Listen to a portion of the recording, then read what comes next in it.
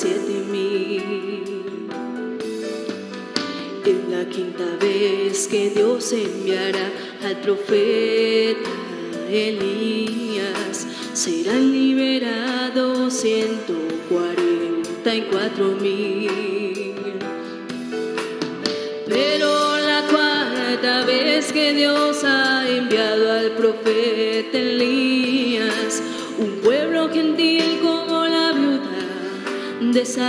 the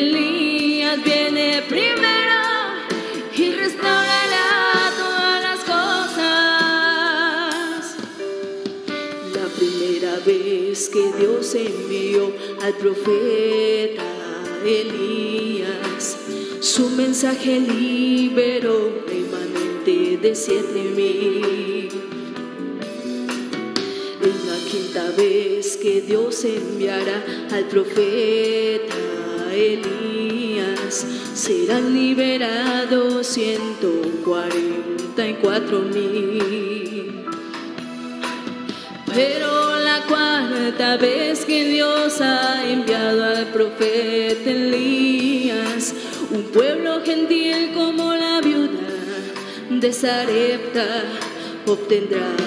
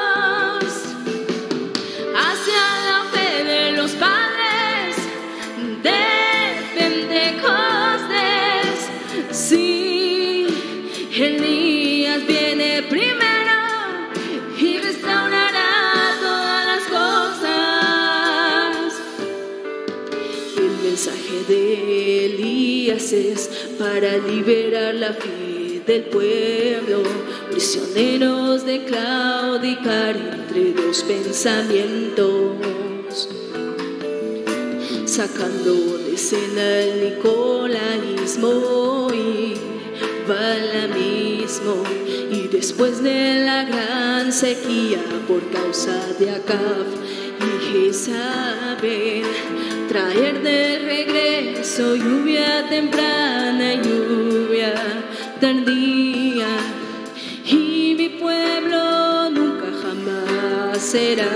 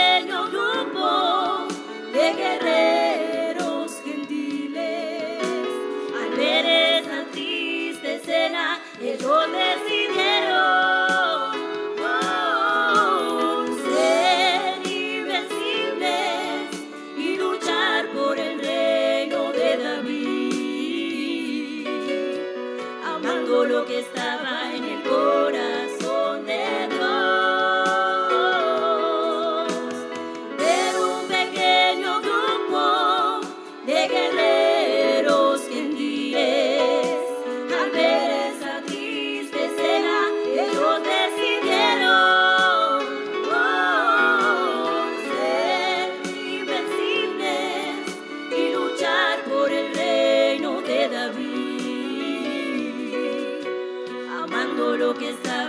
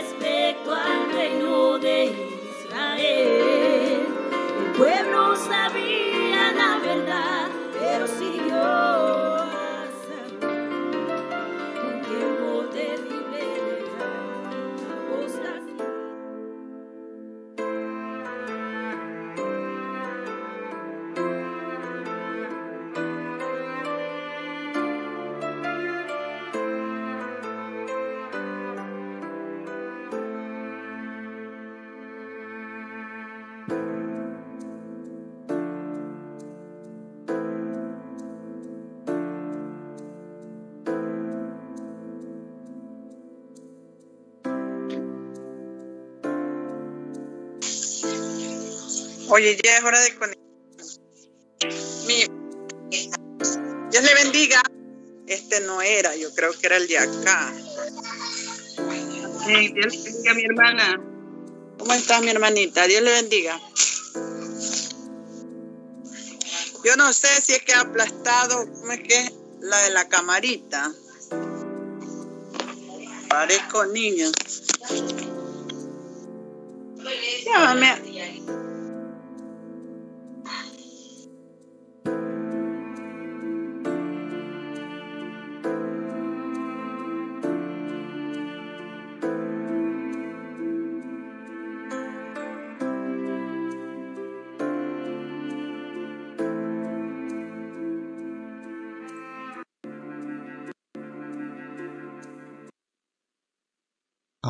Amén, hermanos y hermanas, que el Señor Jesucristo los bendiga.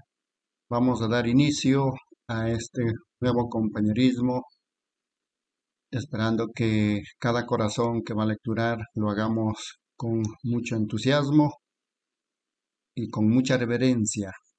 Iniciamos este compañerismo a través de la lectura de los gloriosos mensajes que nos ha puesto Dios en la escena y para eso vamos a pedir a gracias a nuestro Padre Celestial. Señor Dios Todopoderoso, nos inclinamos ante ti una vez más, Señor, con mucha humildad, con mucho respeto, con mucha reverencia, Señor, sabiendo de que es tu palabra perfecta, dador de toda dádiva, dador, de todo bien, oh Padre amado, dador de vida eterna. Oh Padre, agradeciendo también a los hermanos y hermanas que estarán en la escena para comenzar este compañerismo a través de la lectura de los gloriosos mensajes, oh Padre. Nosotros no hemos buscado, tú nos encontraste en el trayecto de cada vida de cada uno de vosotros, oh Padre. Y ese abismo clamando otro abismo, hoy en la escena, Señor. Como tú dijiste allá en Daniel 12.2, los entendidos resplandecerán como el resplandor del firmamento, y los que enseñan la justicia a la multitud como las estrellas a perpetua eternidad. Oh, Padre amado, también dijiste en Daniel 12.9, muchos serán limpios y emblanquecidos y purificados. Los impíos procederán impíamente, y ninguno de los impíos entenderá, pero los entendidos comprenderán. Oh, Padre amado, gracias por esa unción de la sabiduría, por ese espíritu de sabiduría que tú enviaste en este último tiempo, oh Padre. Agradecido también a esos varones quienes lograron transcribir estos gloriosos mensajes de vuestro profeta, Señor. Profeta que venía en la escena de Apocalipsis 17 que estaba escondido para sabios y entendidos, oh Padre amado, pero lo revelaste para niños que quieran aprender, oh Padre. Apocalipsis 17 estaba en escena y el mundo no lo reconoce, Señor, sino que en los días de la voz del séptimo ángel, cuando Él comienza a tocar la trompeta, el misterio de Dios sería consumado, como así lo anunciaste a tus siervos los profetas, oh Padre. Nuestra siguiente promesa es Apocalipsis 10, 8 al 11, donde tenemos que comernos el libro, oh Padre, comer el águila, comer la comida fresca, oh Padre amado, a eso nos enviaste águilas de este último tiempo, comer carne fresca del día, oh Padre.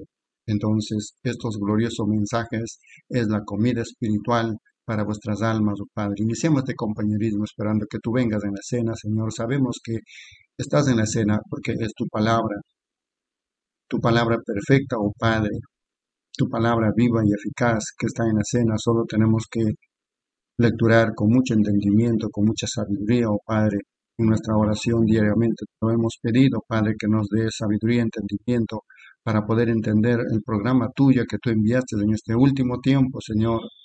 Muchas gracias por ese, por ese entendimiento que tú nos has enviado. Entonces iniciamos este compañerismo en el nombre del Señor Jesucristo.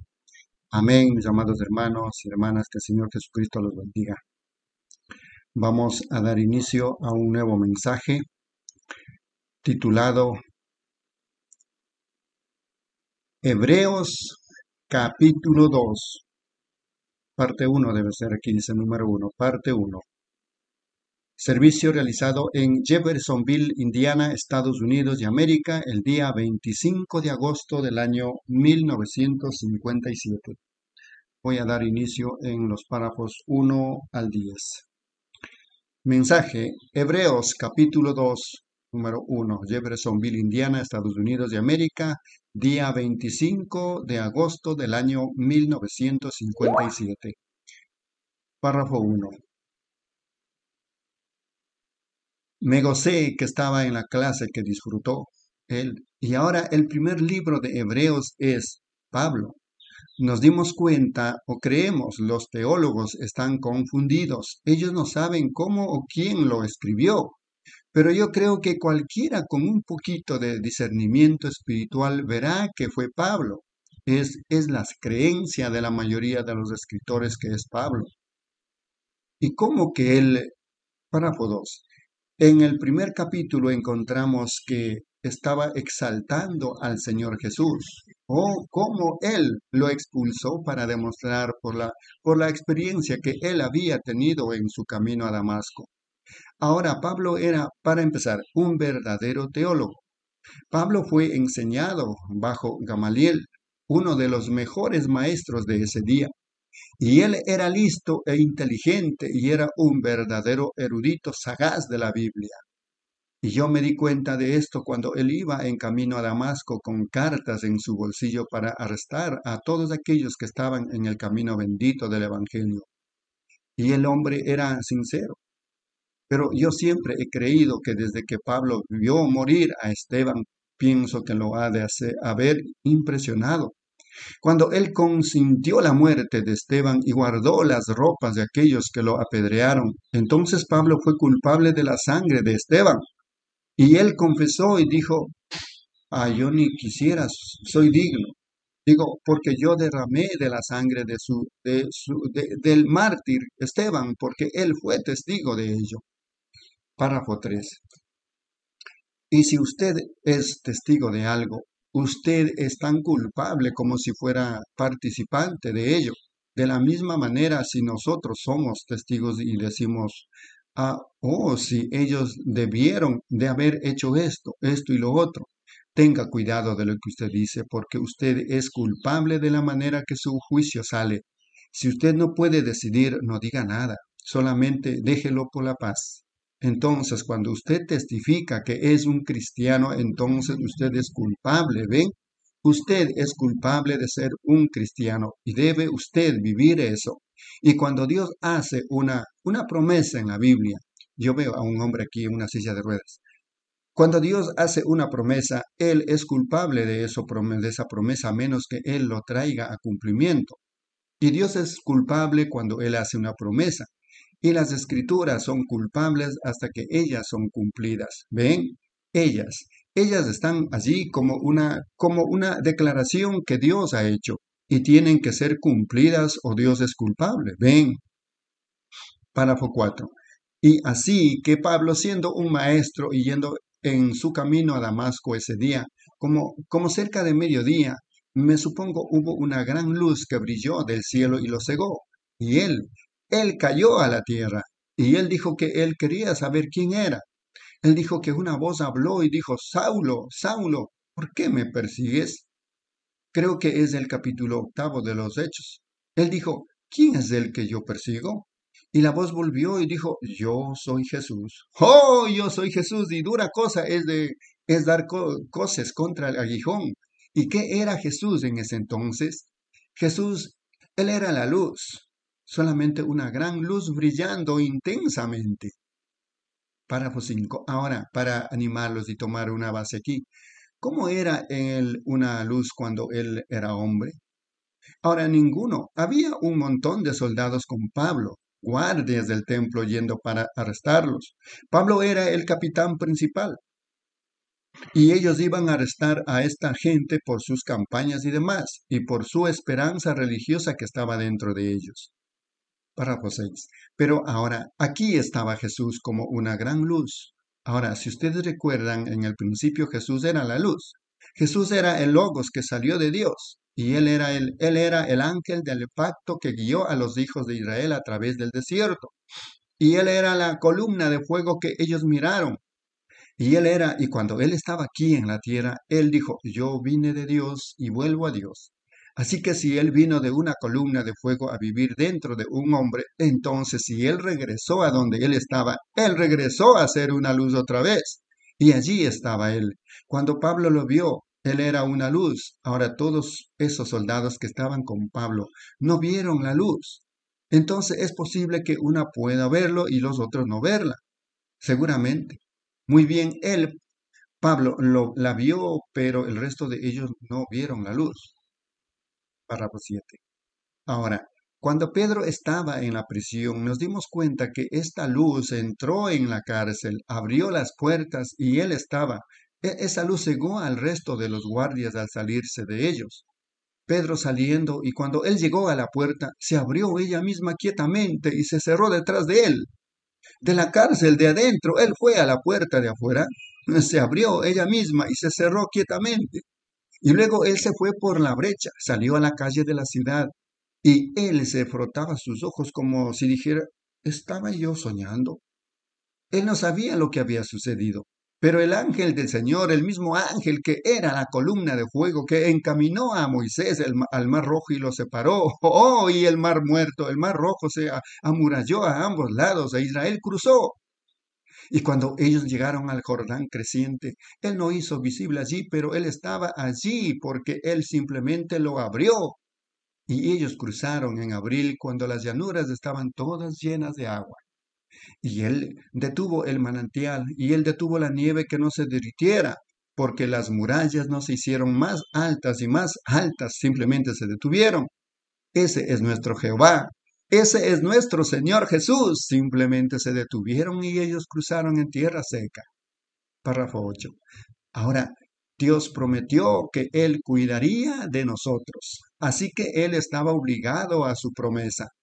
Ahora, Pablo, consciente de estas cosas y con, conociéndolas, él era privilegiado porque Dios le estaba hablando directamente a Pablo. Él no le estaba hablando a los soldados que estaban con él. Él solamente le estaba hablando a Pablo. Ahora, cuando él, cuando el ángel del Señor descendió en la forma de una estrella, y los astrónomos, los magos de la India, cuando ellos miraron esa estrella y la siguieron por cientos de millas y pasó por encima de cada observatorio porque ellos guardaban el tiempo por las estrellas. Y ninguno vio esa estrella sino los magos. Oh, hermano, no lo emociona eso. Amén. Párrafo 9. Entonces ustedes ven, Dios no lidia con organizaciones. Él no lidia con grupos de gente, él lidia con individuos, él mismo se revela a individuos. Y ahora, ahora para decir esto, no es esto, Dios conoce mi corazón y, y no para decir esto de mí mismo, no como alabanza personal, que nada de esto esté allí. Pero ¿sabían ustedes que ese mismo Dios, ese mismo Jesús está con nosotros en esta mañana? ¿Saben que cada uno de ustedes tiene una pequeña evidencia personal de ello en estos momentos? Que Él está aquí y es, Él ha hecho algo por nosotros en este día que Él no hizo en ningún otro día. Él permitió que su fotografía fuera tomada en este día. La tenemos colgada allí mismo, ven, la columna de fuego, el mismo Señor Jesús. Observe cómo Él obra ahora. Si Él es el mismo Señor Jesús, Él hará las mismas cosas. Pues la Biblia dice que Él es el mismo ayer, hoy y por los siglos. Párrafo 10 por último. Ahora, antes que Pablo anunciara algo, si esto era correcto o incorrecto, él primero fue a Egipto y se quedó tres años para darse cuenta si era escritural o no. ¿Sabían ustedes eso? Después de la conversación de Pablo, él se fue a Egipto por tres años. Allí moró y allí es en donde él aprendió esta gran sabiduría. Ahora, sin ninguna comparación de, en lo absoluto, yo solo les estoy dando a ustedes cómo el Espíritu Santo todavía permanece igual. Ahora, mi iglesia aquí recuerda años atrás de cuando este ángel aparecía y mostraba cosas. Yo era un poquito escéptico al respecto. Todos ustedes saben eso, ustedes ancianos. Si, ustedes, si, si eso es correcto, levanten sus manos. Cuando ustedes lo, lo escucharon, ustedes miran en la iglesia todavía, los ancianos ven. Yo era escéptico porque los predicadores me dijeron que eso era del diablo. Y yo como que lo creí, pero esperé. Yo no decía nada al respecto. Amén, mis amados hermanos y hermanas, que el Señor Jesucristo los bendiga. Continuamos con la lectura de este glorioso mensaje, Hebreos capítulo 2, parte 1, mensaje predicado en Jeffersonville, Indiana, Estados Unidos de América, el día 25 de agosto del año 1957. Continuamos. Hermana Reina, por favor, en los párrafos 11 al 20. Amén. Dios le bendiga, hermanos y hermanas. Mensaje Hebreos capítulo 2, parte 1, predicado el 25 de agosto del año 1957. Párrafo 1. Perdón, párrafo 10. Ahora, antes que Pablo anunciara algo, si esto era correcto o incorrecto, él primero fue a Egipto y se quedó tres años para darse cuenta si era escritural o no. ¿Sabían ustedes eso? Después de la conversión de Pablo, él se fue a Egipto por tres años. Allí moró y allí es en donde él aprendió esta gran sabiduría. Ahora, sin ninguna comparación en lo absoluto, yo solo les estoy dando a ustedes cómo el Espíritu Santo todavía permanece igual. Ahora, mi iglesia aquí Recuerda años atrás que cuando este ángel aparecía y mostraba cosas, yo era un poquito escéptico al respecto. Todos ustedes saben eso, ustedes ancianos. Si ustedes, si eso es correcto, levanten sus manos. Cuando ustedes lo escucharon, ustedes miran en la iglesia todavía. Los ancianos, ven, yo era escéptico, porque los predicadores me dijeron que eso era del diablo y yo como, como que lo creí, pero esperé. Yo no decía nada al respecto.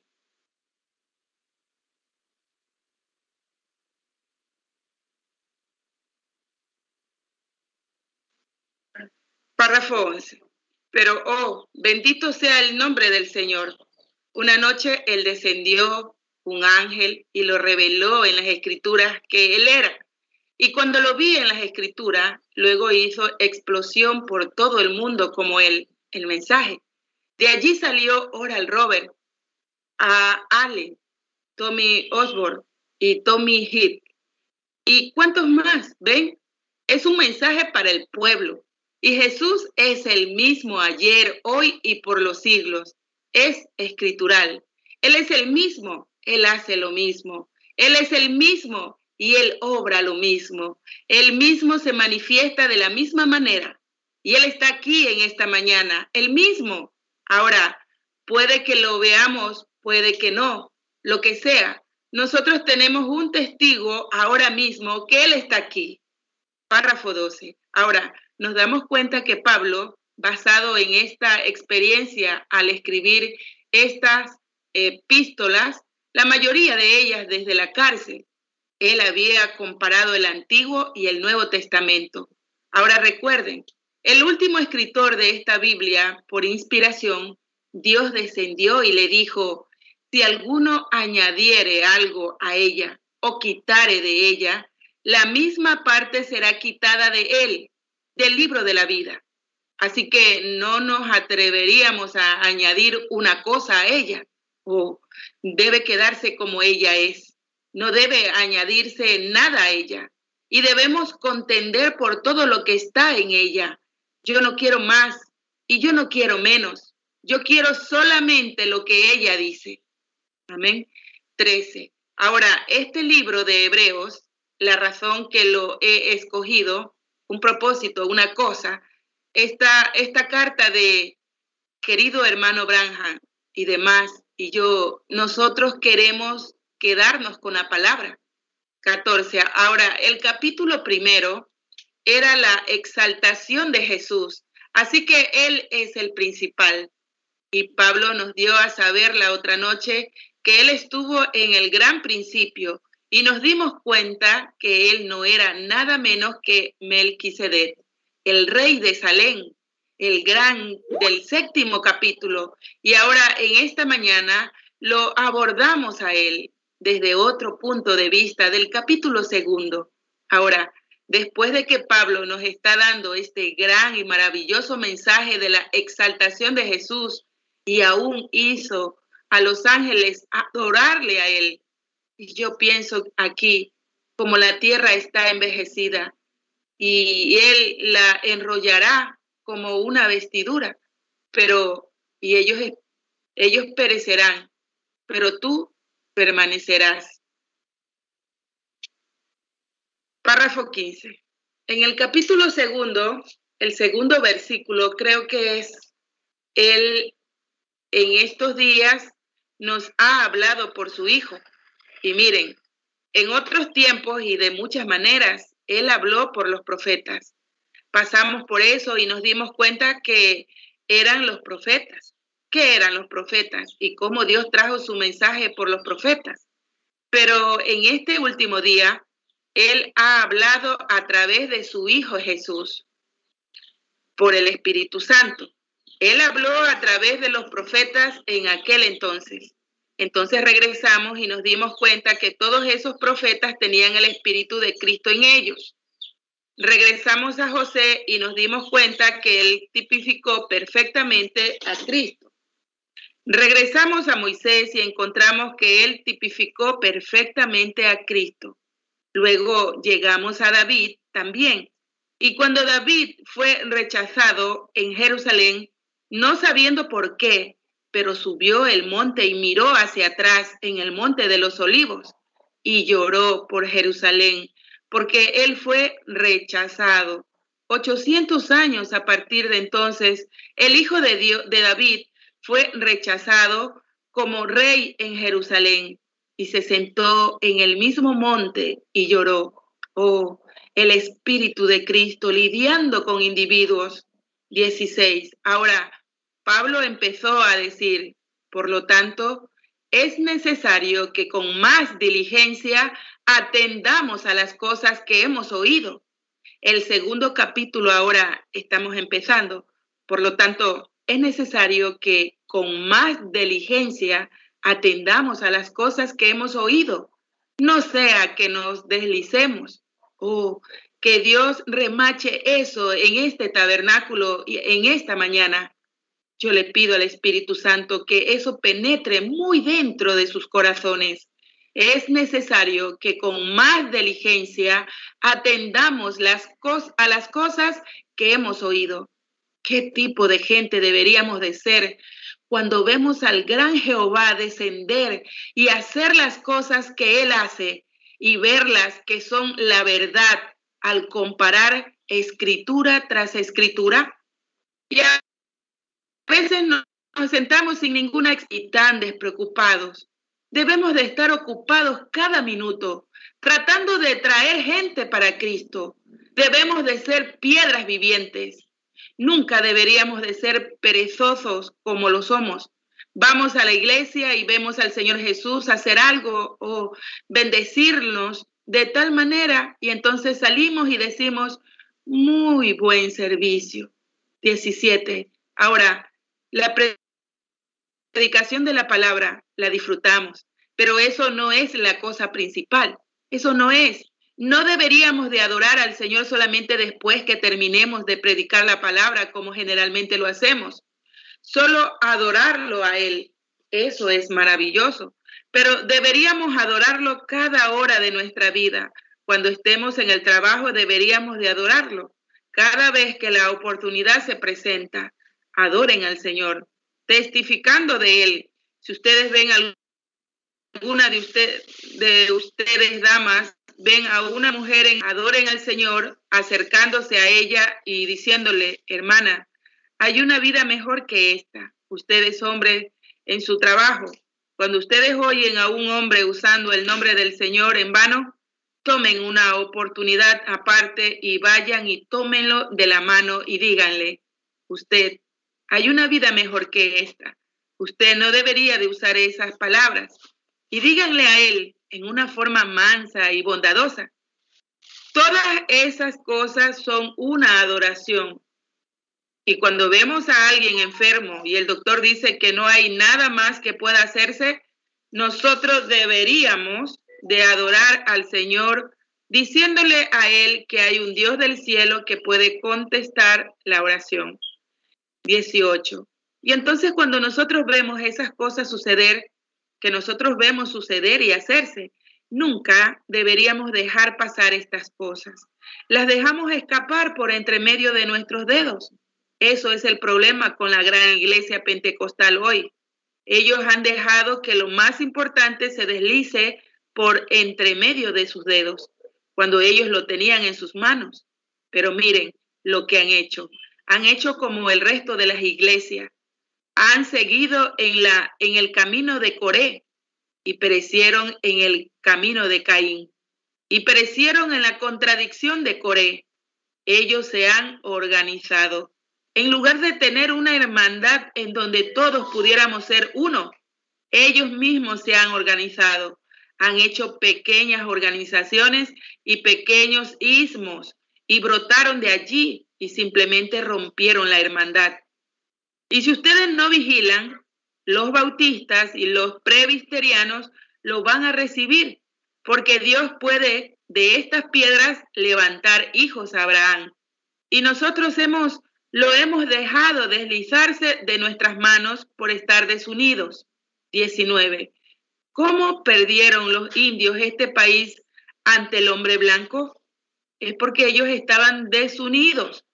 Si ellos hubieran formado una gran vanguardia, pero estaban peleando uno con el otro, ellos hubieran conservado sus terrenos y todos se hubieran juntado. ¿Cómo la vamos a perder nosotros? Porque estamos desunidos. ¿Cómo perdemos nuestra experiencia con Dios? es porque nos desunimos.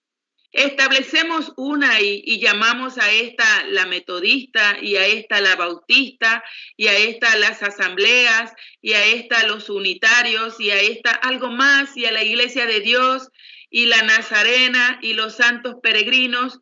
Desunimos al cuerpo de Cristo. Nunca deberíamos estar divididos. Pudiéramos ser diferentes en ideas, pero seamos hermanos de corazón Dios quiere que lo seamos. Él murió por toda la iglesia de Dios y nosotros no queremos ser desunidos. Por tanto, es necesario que con más diligencia atendamos, no sea que nos deslicemos, porque si la palabra dicha por medio de los ángeles fue firme, 20, ¿lo escucharon?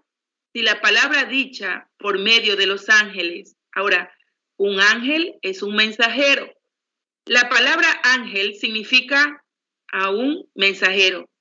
Y acabamos de repasar en el primer libro aquí, Dios en otros tiempos, habiendo hablado muchas veces y de muchas maneras a los padres por los profetas.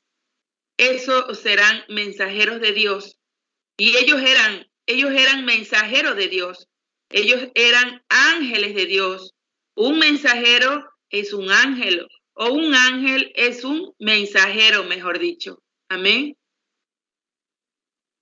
Amén, amén, hermana reina. Dios le bendiga la lectura. Recordando, estamos con este glorioso mensaje, Hebreos capítulo 2, parte 1. Mensaje predicado en Jeffersonville, Indiana, Estados Unidos de América, el día 25 de agosto del año 1957, mientras ordena el listado. Voy a continuar en los párrafos 21 al 30. Párrafo 21. Un mensajero, usted es un mensajero en esta mañana. Usted es usted, es un mensajero de las buenas nuevas o un mensajero de las malas nuevas. O no es hermoso saber que nosotros somos los embajadores, que somos ángeles, los mensajeros de la resurrección. Y nosotros somos los mensajeros de Dios para el mundo pecaminoso de que Cristo vive. Él vive en nuestros corazones, Él vive en nuestros espíritus y Él nos trae de la vida baja, pervertida de pecado y nos exalta y nos da un aleluya en nuestra alma y nos hace criaturas nuevas. Nosotros somos mensajeros, ángeles del pacto. ¡Qué hermoso! Párrafo 22. Y ahora en el Antiguo Testamento, si, si las palabras dichas por medio de ángeles fueron firmes, esa palabra tenía que estar correcta. En el Antiguo Testamento, antes que una palabra del profeta pudiera ser manifiesta, tenía que ser examinada y probada. Ellos no eran sueltos con ella como nosotros somos hoy.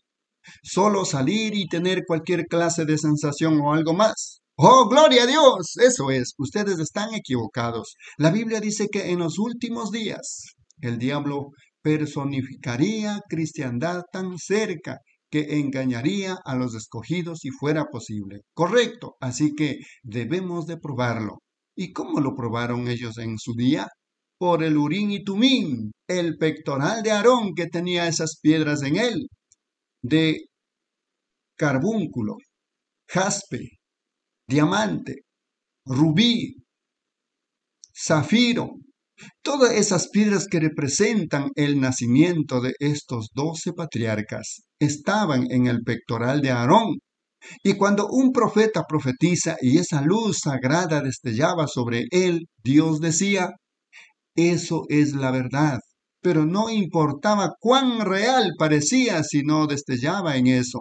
No era la verdad. Así que ese Urim Tumín era parte de ese sacerdocio. Pero esta Biblia es el Urim Tumín de Dios hoy día y cuando un profeta profetiza debe destellar absolutamente con la Biblia. Entonces Dios dice, luego Él desciende y lo provee. Párrafo 23. Y oh, cómo glorifico a Dios hoy yo estoy pensando allá atrás de otro domingo por la mañana igual que este, cuando me despedía del tabernáculo y ustedes hermanas estaban llorando y pidiéndome que no me fuera, pero cuando prediqué en David y Goliat y cómo va uno a enfrentarse con ese mundo frío, indiferente que dice los días de los milagros han pasado, yo dije, hay un gran gigante y mientras más pronto podamos matarlo, el resto de ellos tomarán valor. Y el Señor concedió eso. Y entonces hubo un Oral Robert y un Hager y demás. Sacaron la espada y echamos al enemigo fuera de la tierra, cerramos sus bocas. Ellos no pueden decir que los milagros no acontecen, porque aquí están. Seguro la palabra de Dios es eterna. Destelló en el Urim, destelló en la palabra. Ese es su Urim Tumim. Y cuando destelló sobre eso era positivo.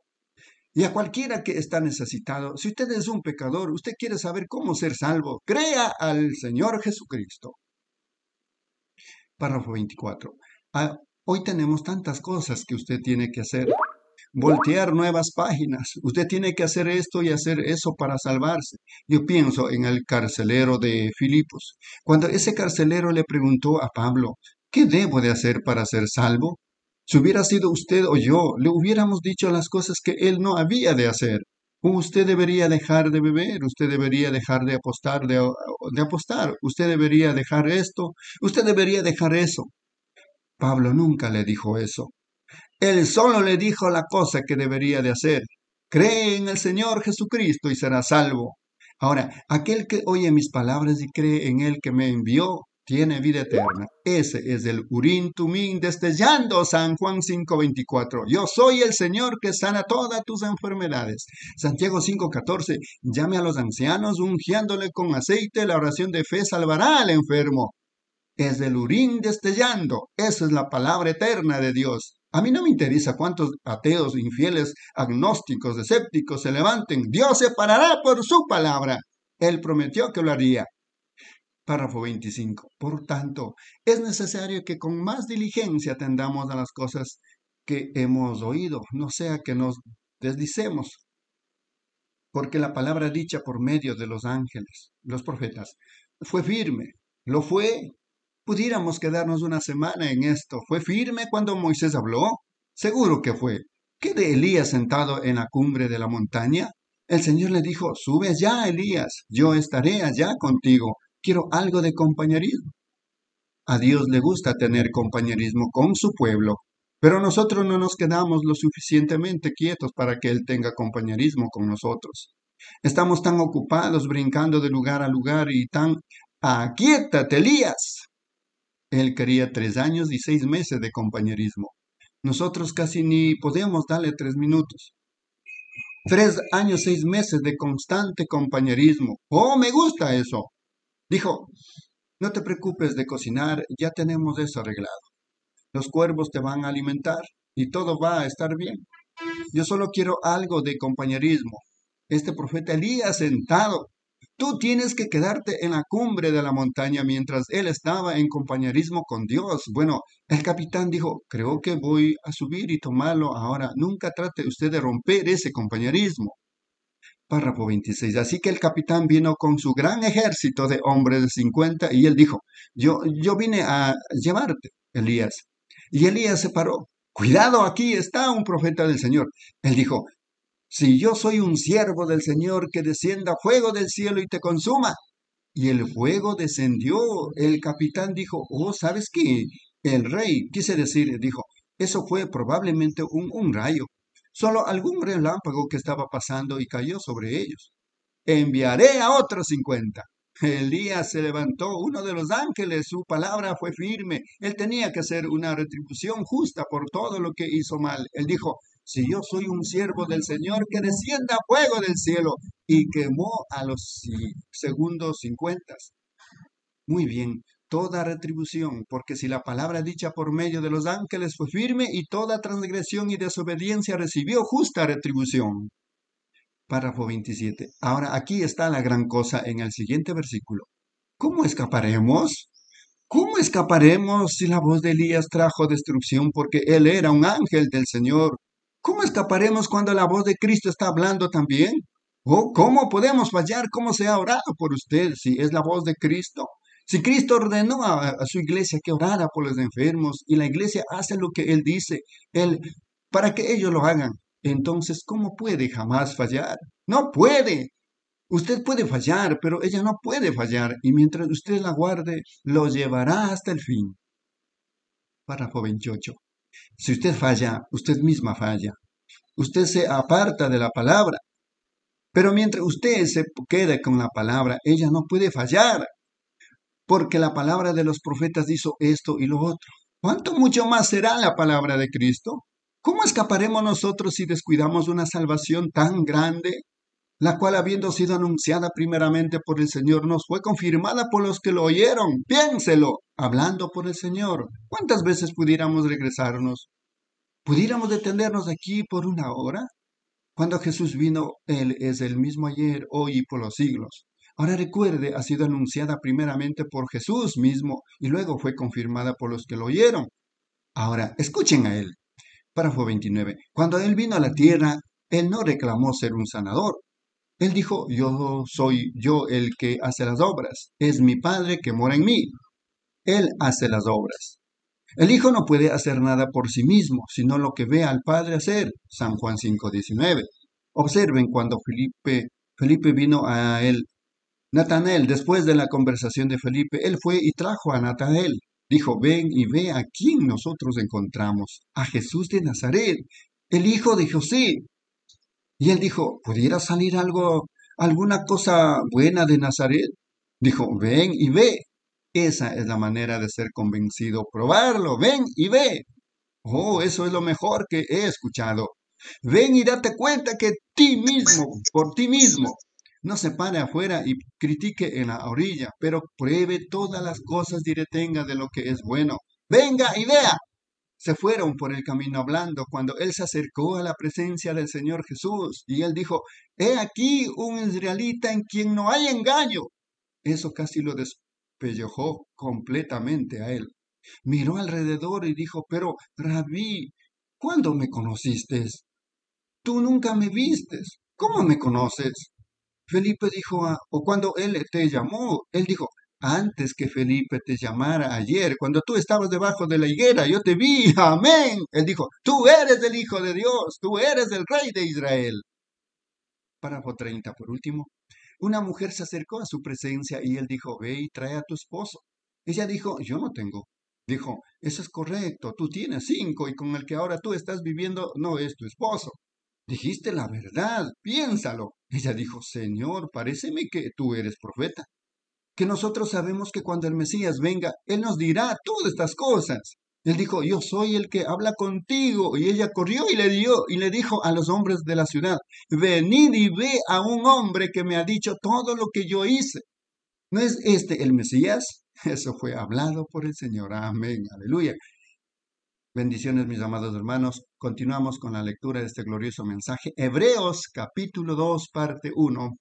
Servicio presentado en Jeffersonville, Indiana, Estados Unidos de América, el día 25 de agosto del año 1957.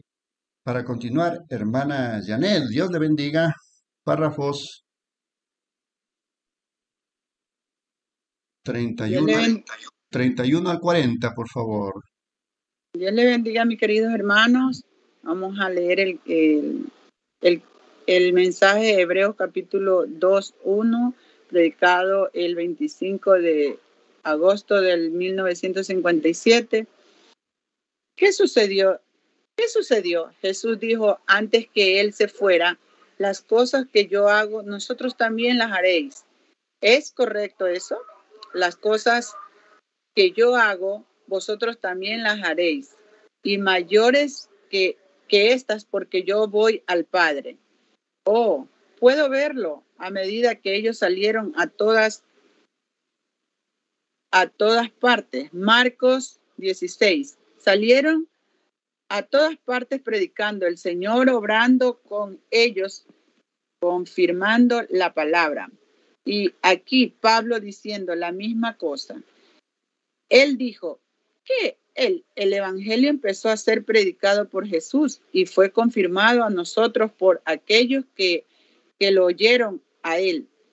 Y eso es la piedra de, de fundamento. Oh, bendito sea el nombre del Señor.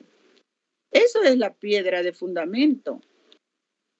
Y pensar que dos mil años han pasado, ateos se han levantado e infieles y escépticos y agnósticos, pero hoy en día ese mismo Jesús confirma su palabra. La misma manera por aquellos que lo oyen, él, a él oír no significa solamente oír un sermón, eso significa a él oír. Si, ¿Cómo escaparemos? ¿Dónde está nuestro escape? Oh, usted dice, bendito Dios, yo pertenezco a la iglesia metodista, yo soy un prioritariano, yo soy un pentecostal. Eso no tiene nada que ver con eso. Y usted está sin hacer nada y quiere llamarlo espiritualismo o alguna telepatía mental o algún diablo o algo. ¡Qué vergüenza! Si cada palabra de los ángeles fue firme, dijo Jesús dijo, no es un poquito y el mundo no me verá más, pero nosotros, pero vosotros me veréis, porque estaré con vosotros aún en vosotros hasta el fin del mundo. Y cuando lo vemos a Él descendiendo para continuar confirmando su palabra, ¿cómo escaparemos si nosotros tratamos de quedar bien con alguna iglesia o alguna organización o denominación o alguna pequeña teoría favorita personal? Es mejor que nos soltemos porque cada pecado recibió una justa retribución bajo los ángeles. Cuanto mucho más el Hijo de Dios está hablando desde el cielo para hacer manifiesta su palabra, ¿cómo escaparemos si cuidamos a una salvación tan grande? Descuidamos una salvación tan grande Oh, hermano, testificando Dios justamente, versículo 4, testificando Dios justamente con ellos. Observen esto. El Señor testificó, oh, estoy tan contento por eso. el Señor testificó. Miren, cuando Elías estaba en la montaña, él dijo, si yo soy un hombre de Dios, que desciende fuego del cielo y consuma y te consuma. Dios testificó que él era un hombre de Dios. Dios siempre testifica su vida. Testificará. Yo no sé cuál es su testimonio, pero su vida habla tan alto que su voz no puede ser oída. Lo que usted está viviendo, su vida diaria, testifica, testificará lo que usted es. Dios testifica y el Espíritu Santo es un sello y un sello toma ambos lados del papel. Ellos lo miran a usted.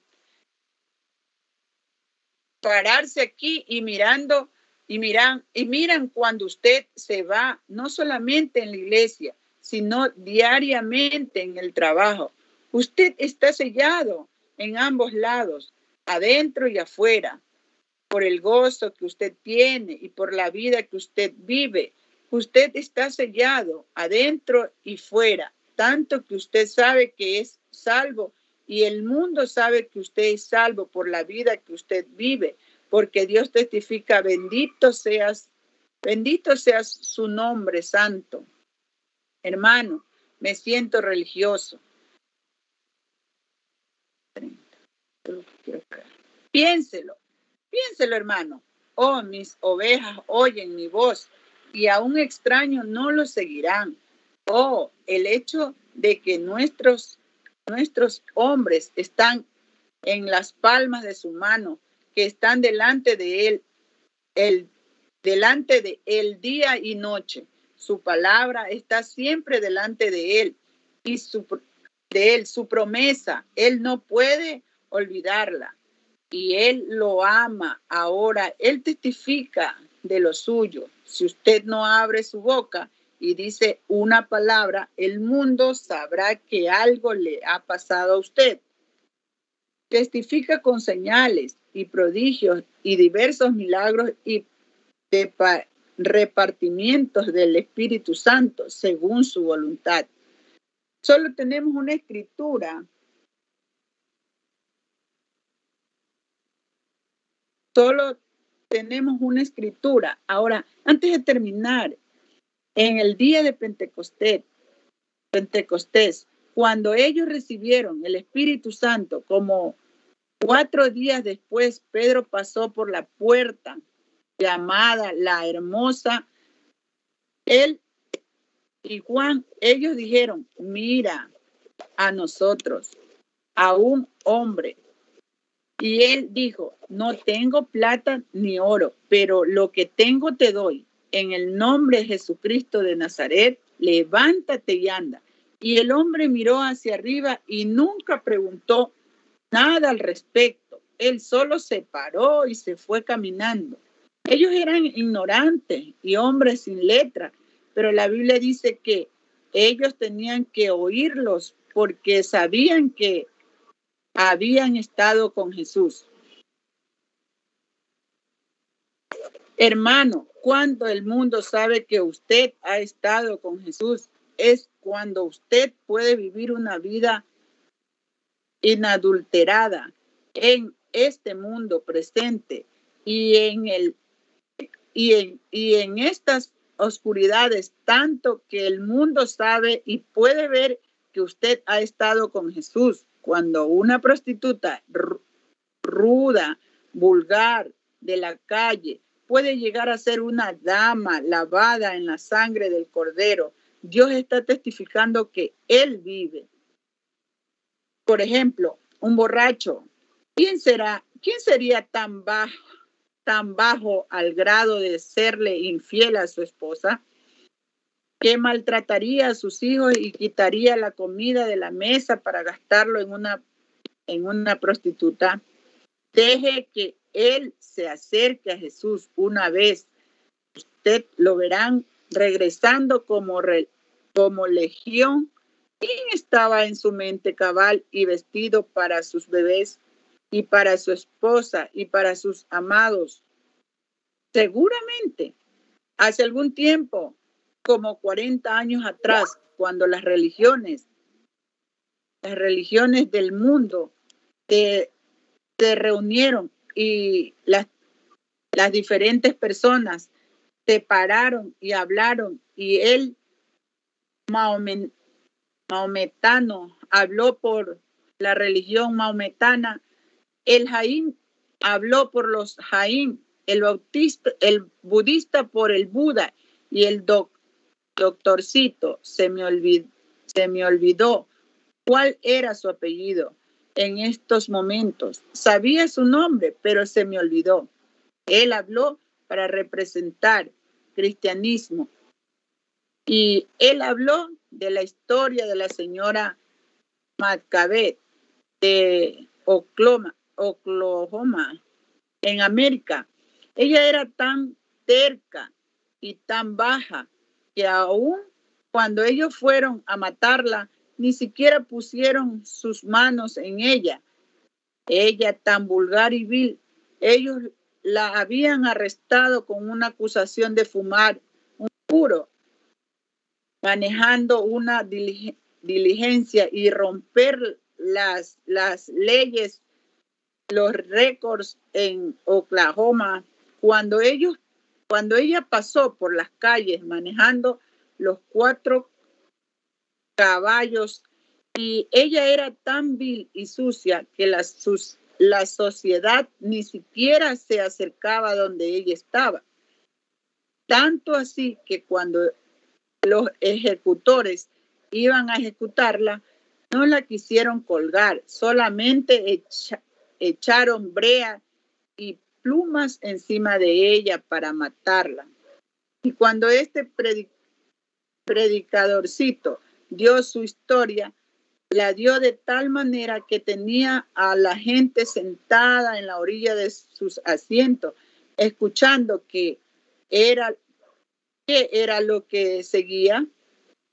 Y cuando él llegó a esa tan vil, tan vil, sucia y baja que aún las leyes ni siquiera querían tener nada que ver con ella.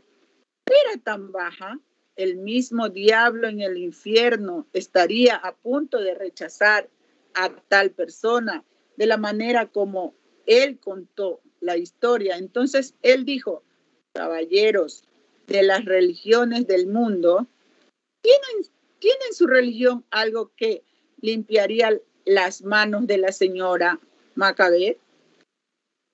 Todos se quedaron quietos. Entonces él palmeó sus manos y dio un salto en el aire y dijo, gloria sea Dios, la sangre de Jesucristo no solamente limpiará sus manos, sino limpiará su corazón y la hace una criatura nueva.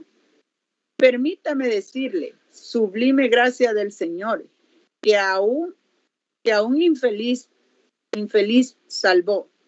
Yo ciego fui, mas hoy veo ya perdido y Él me, halló. Su gracia me enseñó a temer. Mis dudas ahuyentó. Oh, cuán precioso fue a mi ser cuando Él me transformó. Seguramente, ¿cómo escaparemos si descuidamos tal salvación?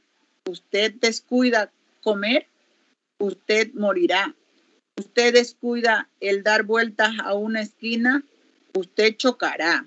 Si usted descuida ordeñar la vaca, ella se secará. Usted descuida sus dientes, usted tendrá que sacárselos todos seguramente. Usted paga por su descuido. Oh, tabernáculo Branham, y ustedes visitantes, permítanme decirles algo ahorita. Ustedes descuidan testificar de la gloria de Dios y ustedes descuidan dar a Dios la alabanza y la gloria. Ustedes mismos se harán fríos y formales y apóstatas uno de estos días. Ustedes den alabanzas a Dios. ¿Cómo escaparemos si descuidamos una salvación tan grande? Se está haciendo tarde y me acabo de fijar que el hermano Thomas entró allá atrás. Terminaremos y continuaremos esto en esta noche, si es la voluntad del Señor. Oremos por un momento. Nuestro Padre Celestial, a ti sean las bendiciones y las y alabanzas y honra y gloria y sabiduría y fortaleza y poder y poder por los siglos de los siglos. Oh, a ese cordero que está sentado en el trono, dominios y reinos y todo se lo dio, se le dio un en su mano cuando él se levantó de los muertos para nuestra justificación.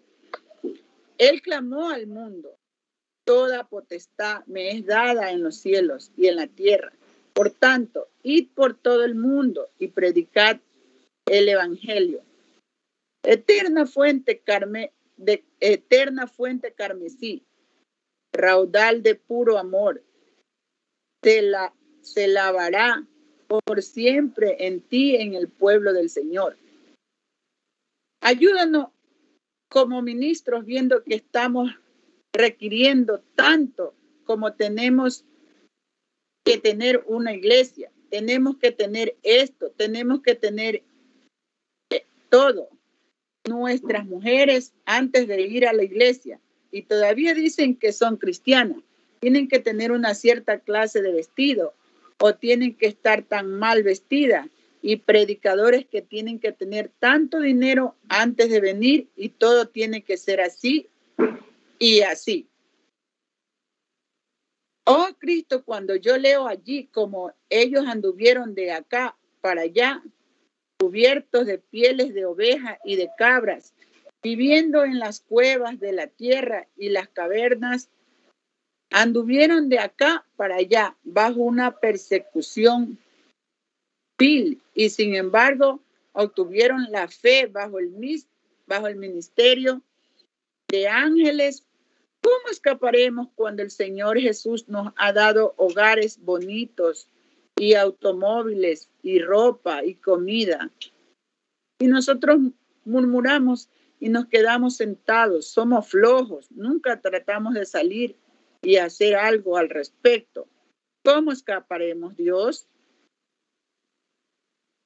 Oh, yo pido que tú hagas arder la antigua convicción en cada corazón en esta mañana, Señor, para que la gente pueda estar al pie y activa. Obremos mientras la luz del día está brillando, porque el sol se está ocultando rápidamente y la civilización se está yendo y no habrá más tiempo. Se mezclará con la eternidad. Oh Dios, conceden, concede hoy que vayamos con una visión fresca, con sabiduría, con entendimiento, para saber cómo acercarnos a, a pecadores y traerlos a Cristo. Escucha la oración de tu siervo, Señor. Yo pregunto si hay alguno aquí que conozca a Cristo como su Salvador levantaría su mano y diría, recuérdeme, hermano Branham.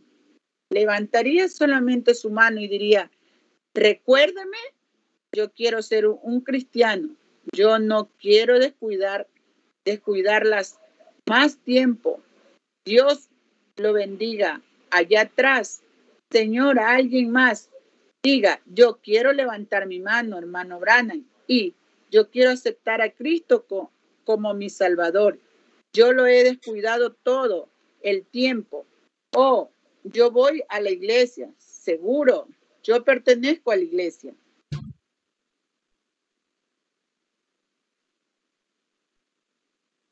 Esto.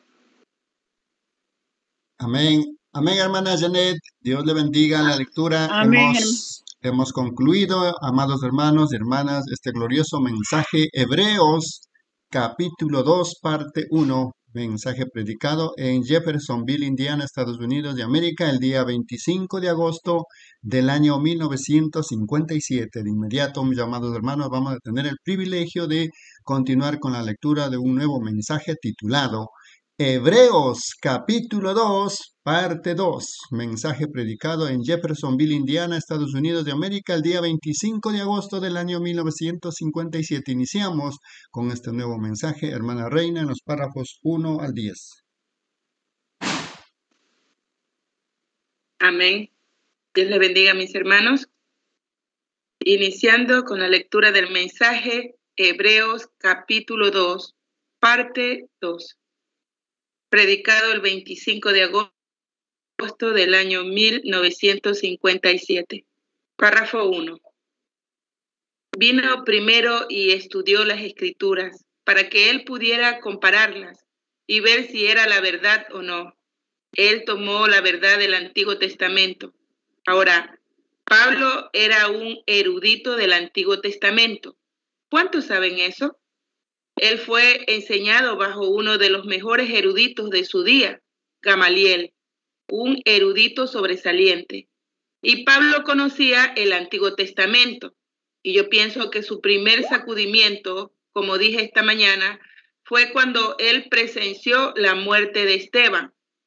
Algo se ha de haber apoderado de Pablo, porque en todas sus epístolas él continuó refiriéndose a eso yo no soy digno porque perseguí a la iglesia a muerte. Yo soy el menor entre ellos. Oh, pero Dios tenía una idea diferente de ello. Él fue uno de los hombres más poderosos de ese día. Vean, San Pablo, el gran apóstol, con su manto tan brillante y hermoso. El poeta dijo, oh, de seguro habrá algunos gritos cuando todos nos nosotros nos encontremos ese gran día, cuando yo lo vea a él recibiendo una corona de mártir, una recompensa de mártir. Dos, yo tuve en la pequeña celda, no hace mucho tiempo, allí en donde él escribió estas epístolas, y luego ellos le cortaron su cabeza y lo echaron en la alcantarilla para que se fuera por el desagüe. Y este pequeño judío allí dijo, yo llevo en mi cuerpo las marcas de Jesucristo. Yo he peleado con bestias en Éfeso, pero yo he peleado la buena batalla. He terminado mi carrera. He guardado la fe y por lo tanto me espera una corona de justicia que el Señor, el juez justo, me dará en aquel. Y no solamente a mí, sino a todos aquellos que aman su venida. Como amo eso Oh, yo quiero ser contado con esos. Solíamos cantar una alabanza. Oh, ¿serás tú contado como uno de su manada? ¿Serás tú contado como una de su manada? Sé sin mancha en tu interior. Mantente vigilando y esperando para ver esa escena. Él viene otra vez. Amén. Tres, yo quiero ser uno de ellos. Ahora, el escritor sigue adelante diciendo, por tanto, es necesario que con más diligencia atendamos a las cosas que hemos oído, no sea que nos deslicemos, como enseñamos sobre eso en esta mañana. El segundo versículo dice así, sí, porque si la palabra dicha por medio de los ángeles, ¿qué nos dimos? ¿Qué nos dimos cuenta que eran los ángeles? Profetas. Dios que en otros tiempos. Ahora, nosotros tenemos que formar no nuestra propia idea, sino la de la Biblia. Ahora, el primer capítulo de el primer capítulo, versículo, el primer versículo, Dios que en otros tiempos, habiendo hablado muchas veces y de muchas maneras a los padres por los profetas. Cuatro. Ahora, él, vive, él viene aquí y dice otra vez, porque si la palabra dicha por medio de los ángeles fue firme, ¿y qué significa un ángel? Mensajero. Nosotros somos los mensajeros de Dios. Somos mensajeros al mundo, un embajador del cielo, confesando que nosotros somos peregrinos y extranjeros. Nosotros no somos de este mundo, pero buscamos una ciudad venidera cuyo arquitecto y hacedor es Dios. Amén. Nosotros no acumulamos tesoros en esta tierra en donde ladrones miran y las polillas. El orín puede corromper o nuestros tesoros están en el cielo, en donde Jesús se sienta a la diestra de la majestad. Oh, qué cosa tan gloriosa y maravillosa el saber que si Dios ungió mensajeros, entonces si nosotros estamos ungidos, nuestras esperanzas están edificadas en nada menos que la justicia y sangre de Jesús. Cuando todo alrededor de mi alma ceda, entonces Él es toda mi esperanza y sostén. En Cristo, la roca sólida, me paro. Todos los otros terrenos son arena movediza. Todos los otros terrenos son arena movediza. Amén. Párrafo 5. Como Edie Perrone escribió esa alabanza en tiempos de persecución. Ahora, porque si la palabra dicho por medio de los ángeles fue firme, cuando el mensajero de Dios habló la palabra, ella permaneció y toda transgresión recibió justa retribución. ¿Cómo esperamos nosotros si no escuchamos a Cristo, quien habla desde el cielo? Ahora fíjense, ¿cómo escaparemos nosotros si descuidamos una salvación tan grande? Piensen en ello, la cual, habiendo sido anunciada primeramente por el Señor, 6. Cristo empieza su obra. ¿Qué hizo él? Lo observamos nosotros como él era humilde, manso, como él no era un gran hombre notable como un, pero él era humilde, manso, amable. Él no era un poderoso predicador. Su voz no era escuchada en la calle, pero Juan salió como un león rugiente. Él era un predicador. Jesús salió no como un león rugiente, pero Dios obrando en él, confirmando la palabra. Dios estaba con Cristo.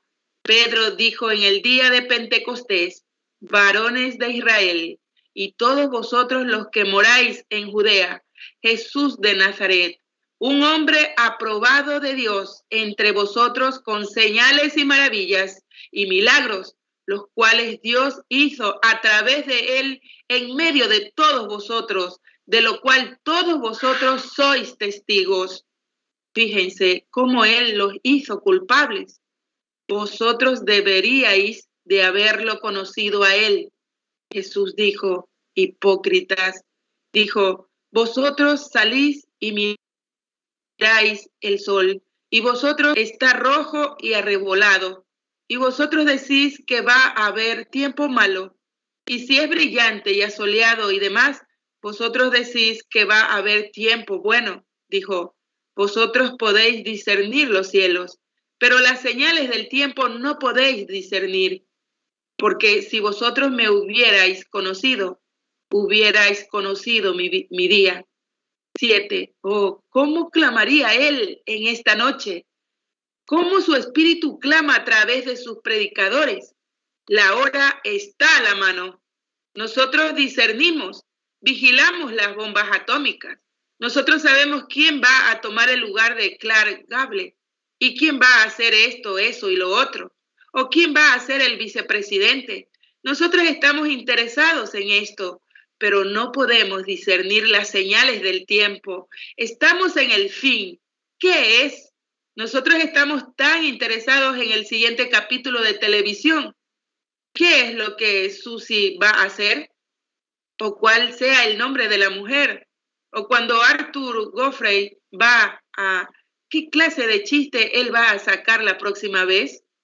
Nosotros como cristianos llenamos nuestras mentes de tal tontería cuando deberíamos de estar en oración en algún lugar y estudiando la Biblia para saber las señales del tiempo en que nosotros estamos viviendo.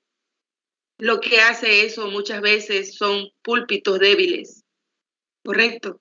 Que no se someten y traen la verdad del Evangelio. Nosotros vamos a tener que responder por eso en los días que vienen. No debemos descuidar nada. Y la gente, como nosotros aquí en este tabernáculo Branham, al ver las señales y prodigios y el poder de Cristo resucitado, y entonces saber que pusimos nuestro, nuestro tiempo en otras cosas, y descuidamos el escuchar la voz del Señor Jesús, ¿cómo escaparemos nosotros si descuidamos una salvación tan grande? 8.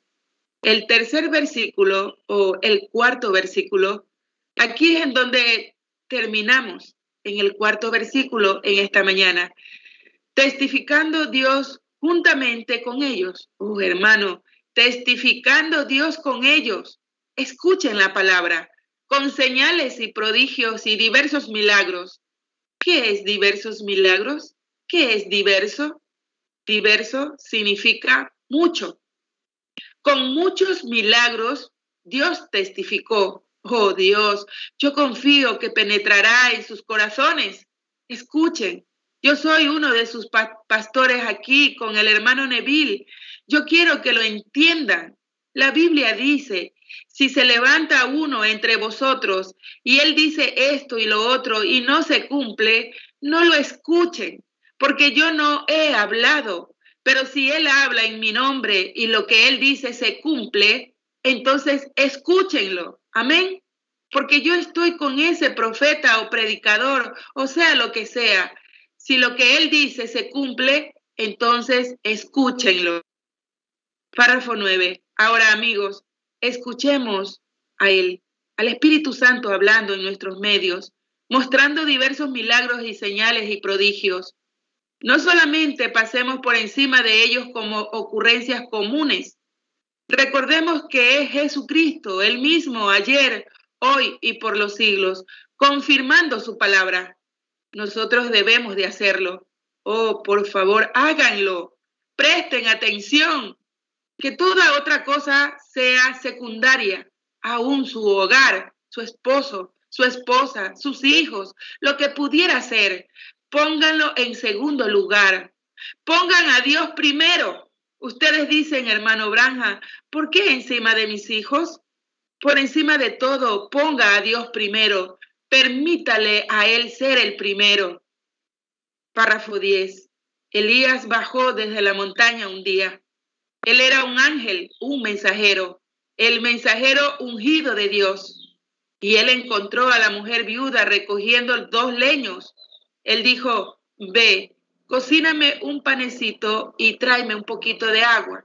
Y ella dijo, vive tu alma, yo solo tengo suficientes panes o bastante masa de trigo para hacer un panecito.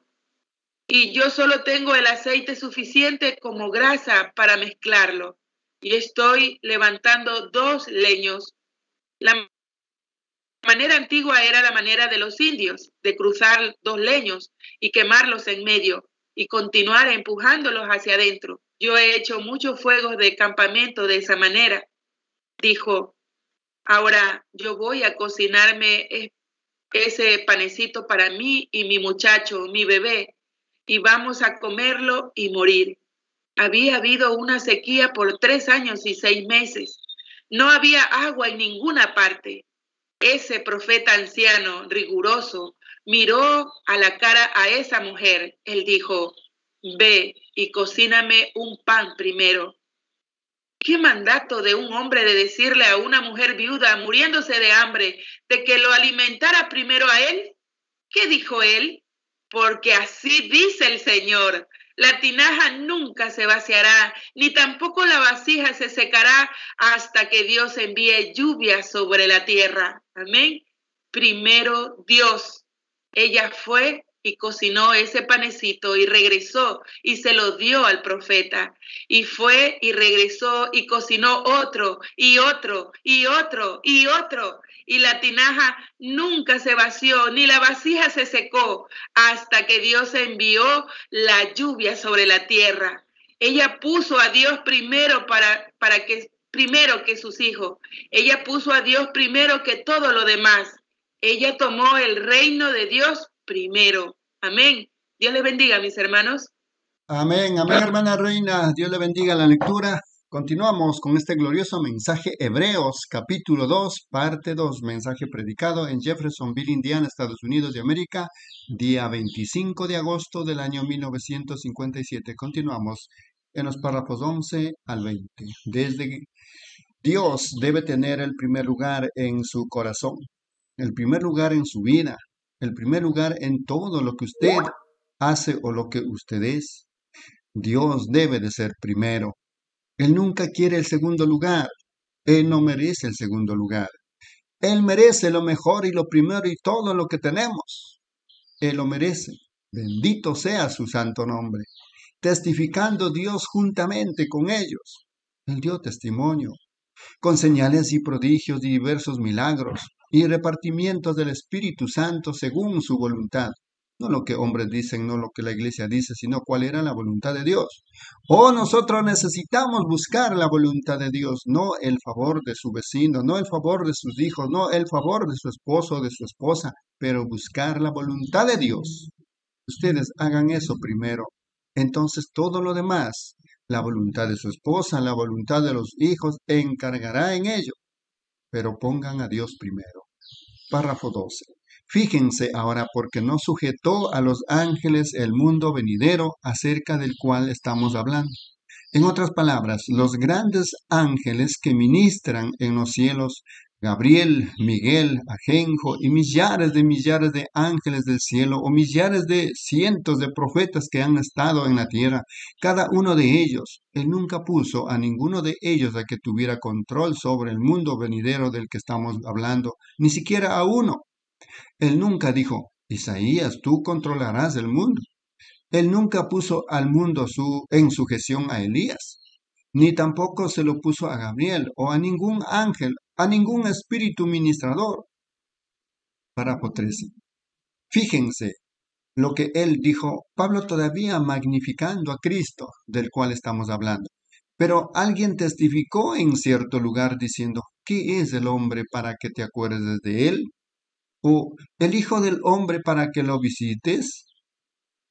Le hiciste un poco menor que los ángeles, le coronaste de gloria y de honra y le pusiste sobre las obras de tus manos. Ahora, si ustedes quieren leer eso, está en el Salmo 8 del 4 al 6, David hablando. Ahora, ¿cómo lo llamó aquí David? Eso lo establece allí mismo. Si estaba correcto en esta mañana lo que estaba diciendo el profeta. Él dijo, porque uno de los ángeles dijo en cierto lugar, David, el mensajero de Dios, era un ángel de Dios, porque él era un mensajero de Dios. El ángel dijo, David dijo en los salmos, le hiciste un poco menor que los ángeles del cielo. Un ángel dijo que Dios lo hizo menor que un ángel para que él pudiera coronarlo a él y él pudiera sufrir y probar muerte para ser exaltado otra vez, para que él pudiera hacerlo a él heredero de todas las cosas del mundo. Párrafo 14. Ahora, en, en, Mateo 28, 18, nosotros leemos esto. Después que él había sido crucificado y se levantó otra vez al tercer día, él se encontró con sus discípulos y los comisionó para ir a todo el mundo a predicar el Evangelio a toda criatura. Él dijo, todo poder en el cielo y en la tierra que ha sido dado en mis manos, todo el poder en el cielo, todo el poder en la tierra me ha sido dado a mí. ¿Qué fue eso? El hombre y Dios se habían unido. El Logos había sido hecho carne y había sido matado y se levantó para nuestra justificación y fue entonces el Emanuel ungido por los siglos de los siglos. Dios cambió su lugar de habitación de un trono allá en los espacios allá al corazón de su Hijo Cristo Jesús para vivir y reinar para siempre. Dios estaba en Cristo. Él es el lugar final de descanso del Espíritu. El Espíritu se quedó en un tabernáculo un día, ustedes saben eso, bajo una tienda.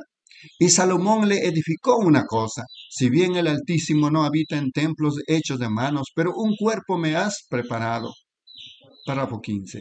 Allí en el libro de los Hechos del capítulo séptimo, cuando él estaba hablando, él dijo, todos ellos lo vieron de antaño. Le edificaron una tienda para él.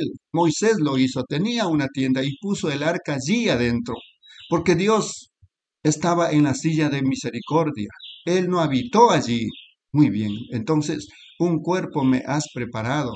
El cuerpo del Señor Jesucristo, hecho menor que los ángeles para probar muerte y ninguno sino el más altísimo de los altos, Cristo, el príncipe de paz, el rey de reyes, el señor de señores, el creador de cada estrella en el universo. Oh Dios, Él llegó a ser más bajo que su creación para que Él pudiera redimir a los hombres, hombres desamparados sin hogar, y darles un hogar en el cielo. Él dejó las glorias del cielo, él dejó el nombre más alto que podía ser llamado. Y cuando él estaba en la tierra, los hombres le dieron a él el nombre más bajo que ellos pudieron dar. Le dijeron que él era un bebé ilegítimo para empezar, nacido de un pesebre, envuelto en trapos quitados de la espalda de una yunta de buey. No tenía lugar a donde ir, no tenía hogar a donde ir y fue llamado Belcebú, el príncipe de los demonios. Él fue maltratado, él fue escupido, se le hizo burla, él fue rechazado y fue a los infiernos más bajos y se bajó a las prostitutas más viles. Eso es lo que el hombre le hizo a él. Párrafo 16. Pero Dios le levantó tan alto que él tiene que mirar para abajo para ver el cielo. Los hombres le dieron el asiento más bajo y le dieron el peor lugar, el nombre más bajo. Dios lo levantó y le dio el asiento más alto y el nombre más alto. Eso es la diferencia de lo que el hombre hizo con el Hijo de Dios y de lo que Dios hizo con el Hijo de Dios. Él se bajó para que nosotros pudiéramos ser levantados. Él llegó a ser nosotros para que nosotros a través de su gloria pudiéramos llegar a ser Él. Él vino a los que no tenían hogar y llegó a ser el mismo uno sin hogar, para que nosotros pudiéramos tener un hogar. Él vino al, al enfermo y él mismo se enfermó para que nosotros pudiéramos ser sanos.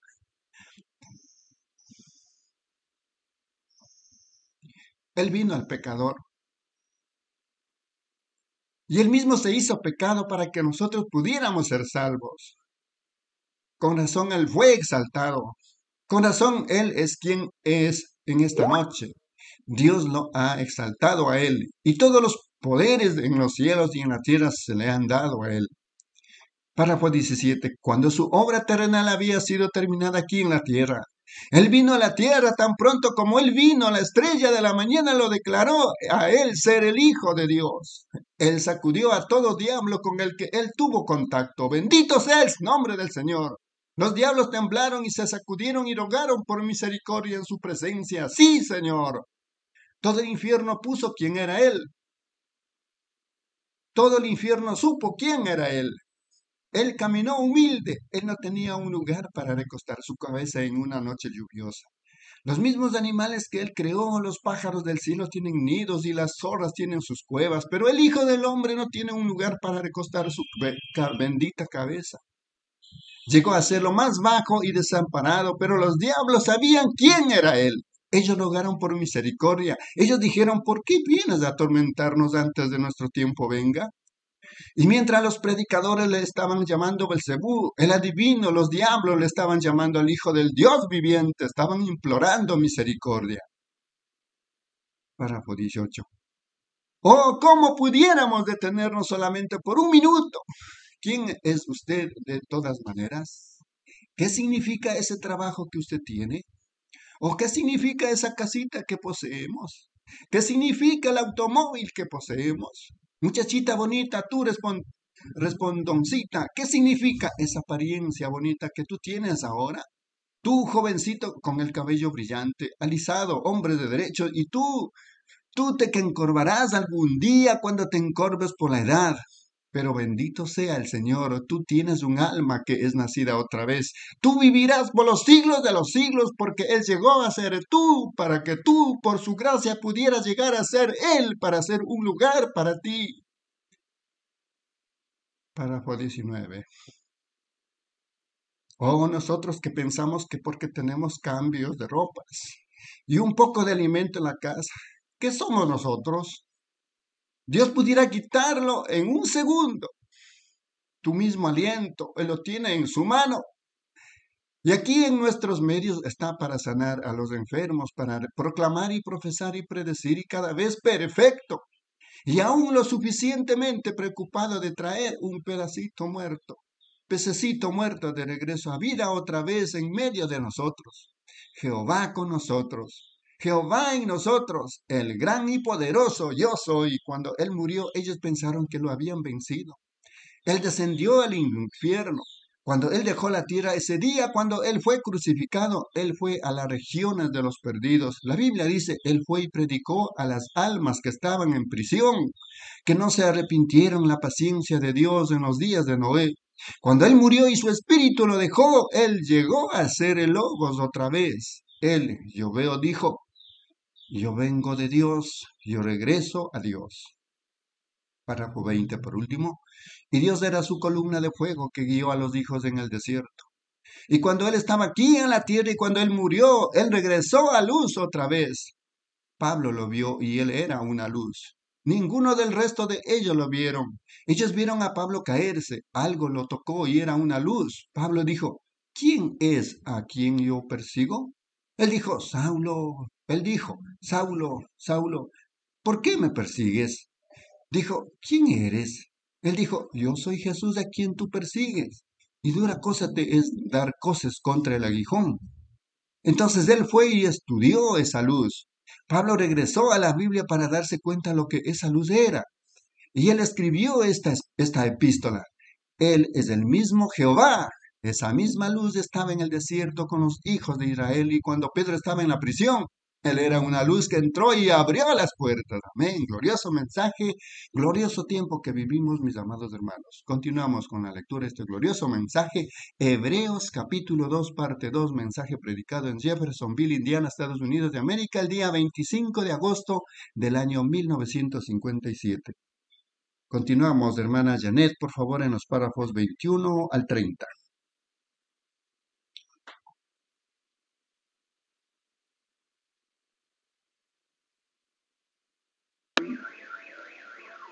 Y vuelta, vuelta.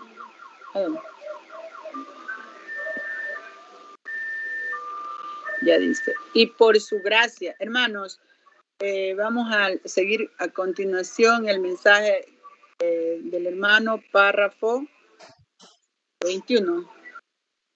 Y por su gracia, y por su gracia, para que ninguno tenga ninguna excusa, o si ellos pudieron olvidar a los mensajeros analfabetas y recordar que no es el mensajero, es el mensaje.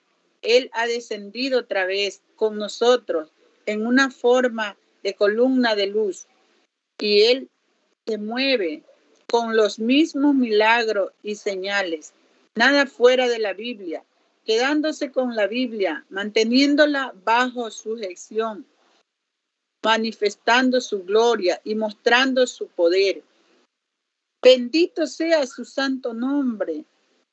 Ah, yo sé que ustedes piensan que yo estoy loco, pero oh, ese bendito descanso eterno que está en mi alma, aunque olas tormentosas se levanten, mi ancla se agarra dentro del velo y verlo cuando y verlo cuando él murió, que la luna tuvo una postración nerviosa, el sol se oscureció en medio del día y cuando él fue a las regiones de los perdidos, hermano Branham tocó el púlpito, toca la puerta y la puerta se abrió. La Biblia dice que él predicó a las almas que estaban en prisión, que no se arrepintieron en la paciencia de Dios en los días de Noé, después que él había muerto en esta tierra y mi hermano y, mi hermana,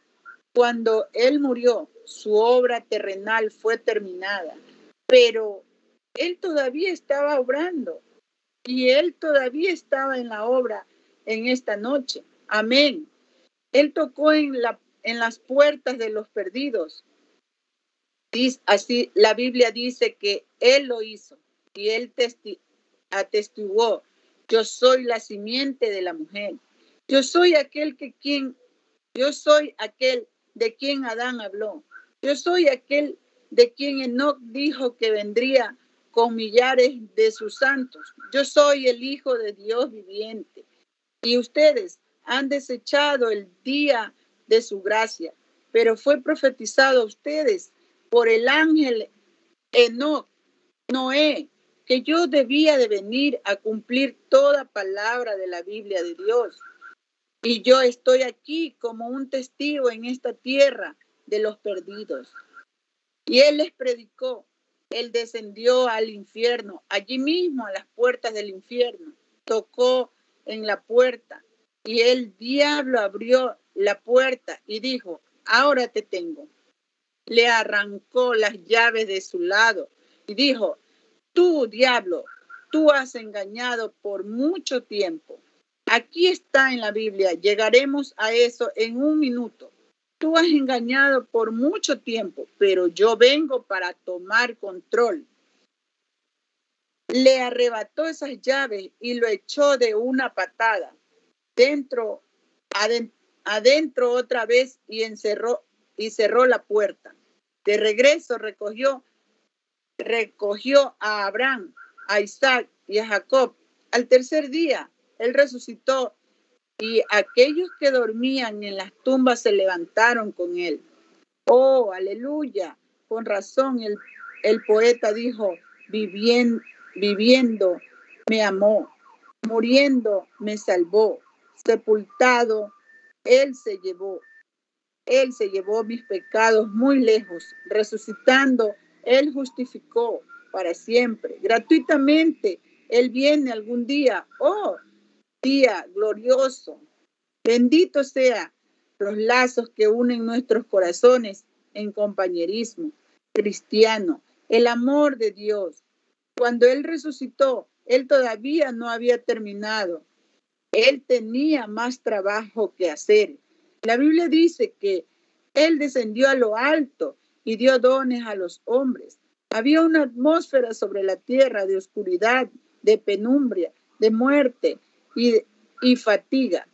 Las oraciones no podían subir porque el sacrificio, el sacrificio no se había hecho, pero él se, él se abrió paso a través de ese velo él abrió el camino, Él rompió el velo de enfermedades, Él rompió el velo del, pecado, Él rompió el velo de preocupación, Él rompió el velo de depresión, Él rompió cada velo, Él hizo un camino para el viajante, caminando hacia arriba, en el camino del rey. Oh, hermanos, cuando él, él pasó la luna y las estrellas y siguió y siguió, Siguiéndolo detrás de él, venían los santos del Antiguo Testamento, Abraham, Isaac, Jacob. Ellos ascendieron a los cielos, de los cielos, cuando ellos estaban muy lejos de la ciudad. Yo puedo verlos a ellos levantar sus ojos. Abraham dijo, esta es la ciudad que anhelaba ver. Oh, ven aquí, Isaac, ven aquí, Jacob. Oh, nosotros éramos peregrinos y extranjeros en la, en la tierra, pero allí está la ciudad. Esta es la que nosotros estábamos esperando. Y la Biblia dice que ellos exclamaron, alzad vosotras puertas eternas y alzaos vosotras, porque el Rey de Gloria está entrando. Y los ángeles detrás de las puertas respondieron, a estos ángeles aquí y dijeron, ¿quién es este rey de gloria? Y los ángeles aquí afuera, los profetas, dijeron, el Señor de los ejércitos, el poderoso en batalla. Aleluya. Y ellos apretaron, ellos apretaron los botones y las grandes puertas se abrieron y por en medio de las calles. Él venía, el conquistador triunfante, con los santos del Antiguo Testamento caminando detrás de él. Se sentó en el trono y dijo, Padre, aquí están, son tuyos. Y él dijo, sube aquí y siéntate hasta que yo haga, yo haga a todos tus enemigos tus, tu estrado. A medida que leamos, encontraremos eso aquí en las escrituras. Muy bien, escuchen ahora. Vamos a entrar en este versículo octavo. Todo lo, lo sujetaste, todo lo sujetaste bajo tus pies. ¿Por qué? Porque en cuanto le sujetó todas las cosas, nada dejó que no sea sujeto a él. Pero todavía no vemos que todas las cosas le sean sujetas.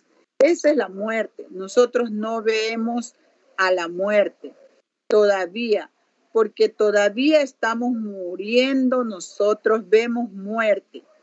Pero el versículo noveno, pero vemos aquel, amén, escuchen, veamos aquel que fue hecho un poco menor que los ángeles, a Jesús, coronado de gloria y honra a causa del padecimiento de la muerte, para que por gracia de Dios gustase la muerte por todos. ¿Por qué fue hecho un poco menor que los ángeles? Para que él pudiese gustar la muerte. Él tenía que morir, él tenía que venir a morir. Mire aquí, amigo, nunca olvide esto. Cuando Jesús iba subiendo el monte, la muerte estaba zumbando alrededor de su cabeza. Tomemos nuestro cuadro de Jerusalén, dos mil años atrás.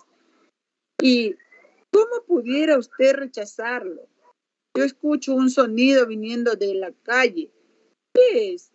Es un golpeteo de algo. Es una cruz áspera descendiendo y saliendo por la puerta de Damasco, golpeando sobre las piedras. Esas piedras grandes todavía están allí, golpeando sobre estas piedras grandes.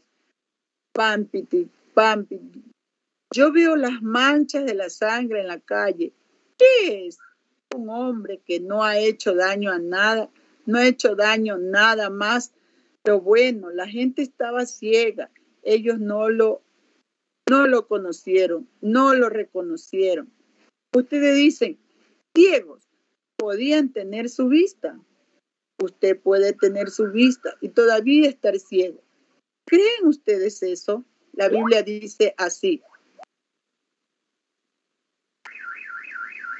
¿Recuerdan a Eliseo allá en donde, recuerdan Eliseo allá en Dotán? Él salió y cegó a la gente, dijo, ahora sígame. Ellos estaban ciegos y él y la gente estaba ciega en esta noche. Una cierta iglesia que no cree en sanidad divina se acercó a mí en una ocasión y dijo, hazme ciego, hazme ciego. Fue en la casa del hermano Will. Dijo, hazme ciego. Dijo, Pablo hizo ciego a un hombre en una ocasión. Dijo, hazme ciego. Yo dije, amigo, el diablo yo lo hizo, ya lo hizo, usted ya está ciego, seguro que usted está. Él dijo, sana esta niñita y yo te creeré. Yo dije, salva a este pecador y yo te creeré, seguro. Oh, él dijo, él tiene que creer. Yo dije, la misma cosa aquí. Tiene que venir a través de la gracia soberana de Dios. El diablo el, el diablo, el Dios de este mundo, ha cegado los ojos del pueblo. Ellos tienen ojos, pero no pueden ver. La Biblia dice, aquí él iba subiendo a la calle, arrastrando las huellas sangrientas en el camino hacia arriba. La abeja de muerte está, en, está punzando alrededor de él, zumbándole solo un ratito y te agarraré. Él estaba poniéndose débil, sediento, agua. Yo fui herido en una ocasión tirado. Yo fui herido en una ocasión, tirado aquí en el campo, la sangre brotando de mí. Yo clamaba por agua y mi amigo corrió y tomó su gorra y la metió en el agua vieja, estancada, con ranacuajos en el agua. Vino y yo abrí mi boca y él exprimió eso porque la sangre estaba brotando como una fuente en donde yo había sido herido a pedazos con una escopeta, sediento. Entonces yo sé cómo mi Señor ha de haber estado después de sangrar toda esa mañana desde las nueve hasta las tres de la tarde perdiendo toda esa sangre. Yo veo su manto primero como, como manchas pequeñitas en él y todas esas manchas empiezan a hacerse grandes y a juntarse, haciendo una gran manchota de sangre, golpeándole, golpeándole la pierna mientras caminaba. Esa era la sangre de Emanuel. Oh, la tierra no era digna de ella. Pero mientras él subía, la abeja estaba pulsando alrededor de él. ¿Qué hizo? Finalmente lo picó. Pero hermano, cualquiera sabe que en un insecto o una abeja, si alguna vez lo pica, eso finaliza el asunto de picar. No puede picar ya más porque cuando se va pierde su aguijón. Esa es la razón que Dios tenía que hacerse carne. Él tomó el aguijón de la muerte en su carne y él le sacó el aguijón a la muerte. Bendito sea el nombre del Señor. La muerte puede zumbar y picar, pero no puede dañarlo. Pablo, cuando él sintió esa abeja zumbando, zumbando alrededor de él, que la muerte venía alrededor de él, él dijo, oh muerte, ¿dónde está tu aguijón? Él podía apuntar al Calvario, en donde se quedó en la carne de Manuel. ¿En dónde está tu victoria? Pero gracias a Dios, ¿quién nos da la victoria? Por medio de nuestro Señor Jesucristo. Sí, nosotros no vemos todas las cosas, pero vemos a, aquel que fue hecho en un fue hecho un poco menor que los ángeles a Jesús a causa del padecimiento de la muerte, porque convenía aquel por cuya causa son todas, todas las cosas y por quien todas las cosas subsisten, que habiendo de, de llevar muchos hijos a la gloria, perfeccionarse por aflicciones al autor de la salvación. La única manera que él podía llegar a ser el autor de nuestra salvación era que él tenía que sufrir. Escuchen estas palabras hermosas aquí, ahora, ahora, escuchen. ¿Por qué él que santifica y los que son santificados de uno son de uno son todos? ¿O oh, no ven ustedes la vid y los pámpanos allí? Todo uno por lo cual no se avergüenza de llamar hermano. Ven, ven, ¿por qué? Escuchen el versículo siguiente, diciendo, yo anunciaré a mis hermanos tu nombre en medio de la congregación, te alabaré y otra vez, yo confiaré en él y otra vez, he aquí yo y los hijos que Dios me ha dado. Así que por cuanto los hijos participaron de carne y, y sangre, él también participó de lo mismo para destruir por medio de la muerte al que tenía el imperio de la muerte, esto es al diablo, y librar a todos los que por el temor de la muerte estaban durante toda la vida sujetos a servidumbre. Los hombres siempre temieron a la muerte. Amén, amén, hermana Janet. Dios le bendiga. Amén, hermano. Continuamos con la lectura de este glorioso mensaje Hebreos, capítulo 2, parte 2. Mensaje predicado en Jeffersonville, Indiana, Estados Unidos de América, el día 25 de agosto del año 1957. Continuamos, hermana Erika, Dios le bendiga, en los párrafos 31 al 40.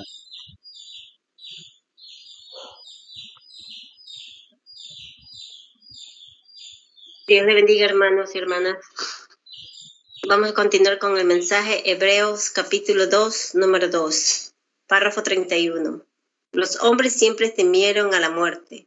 Cristo llegó a ser pecado, se rebajó para él mismo tomar la muerte, y él no se avergüenza de ser llamado nuestro hermano, porque él fue tentado lo mismo que nosotros somos tentados, y él puede ser el intercesor idóneo porque Él resistió la misma clase de tentaciones que usted resiste, y Él tomó su lugar sabiendo que usted no podía soportarlo. Así que, ¿no lo ve, hermano, hermana? Toda la cosa es gracia, todo ello es gracia. En todo caso, no es lo que usted hace, es lo que Él ya hizo por usted. Ahora usted no puede hacer una cosa para merecer su salvación. Su salvación es un don. Cristo llegó a ser pecado para que usted pudiera llegar a ser justo. Y Él es la clase idónea de autor de nuestra salvación, porque Él sufrió lo mismo que nosotros sufrimos. Él ha sido tentado lo mismo que nosotros somos tentados. Y Él no se avergüenza de ser llamado nuestro hermano, porque Él sabe por lo que pasamos. Oh, bendito sea su nombre, porque ciertamente Él no tomó la forma de ángeles, pero tomó de la forma de, la simiente de Abraham 32. Oh hermano, Él no llegó a ser un ángel, Él llegó a ser la simiente de Abraham. Y nosotros, estando muertos en Cristo, tomamos la simiente de Abraham y somos herederos de acuerdo a la promesa. ¿Ven? Él nunca tomó la forma de un ángel. Él nunca llegó a ser un ángel, él llegó a ser un hombre, él llegó a ser la simiente de Abraham y tomó el aguijón de la muerte en su propia carne para reconciliarnos de regreso a Dios y ahora se siente allí como un intercesor. Caray, ¿cómo pudiéramos rechazarlo, amigo? Escuchen, por lo cual debería de ser en todo semejante a sus hermanos, para venir a ser misericordioso y fiel sumo sacerdote en lo que Dios se refiere, para expiar los pecados del pueblo, para que él pudiera ser reconciliador. ¿Ven? Había enemistad entre Dios y el hombre y ningún hombre. Ellos enviaron a los ángeles, a los profetas. Ellos no podían tomar su lugar porque ellos tenían que orar por ellos mismos. Ellos no podían tomar el lugar. 33. Entonces él envió la ley. La ley fue un, un policía que nos puso en la cárcel. No podía sacarnos. Él envió la ley, él envió los profetas, él envió al justo. Y todo eso no podía ser un sacrificio, pero Él descendió y llegó a ser uno de nosotros.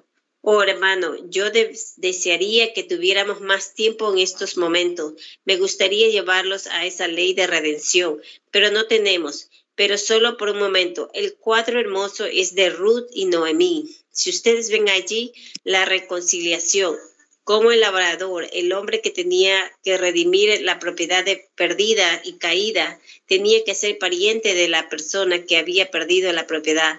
Esa es la razón que vos tenía que ser un, era un pariente de Noemí para poder obtener a Ruth. Y entonces él tenía que ser digno, él tenía que ser capaz de hacerlo para redimir lo perdido. Y vos en la puerta dio un testimonio público, quitándose su zapato, de que él había redimido a Noemí y toda la posesión de ella, y él tenía que ser pariente. 34. Y esa es la razón que Cristo Dios tenía que llegar a ser pariente de nosotros.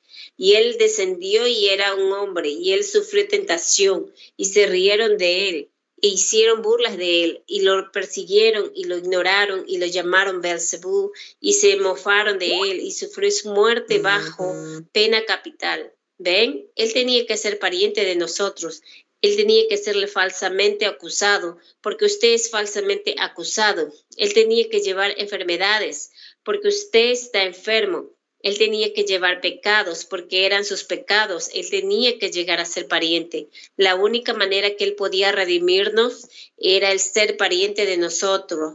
Y como él llegó a ser pariente, fue tomando la forma de carne pecaminosa y llegando a ser uno de nosotros.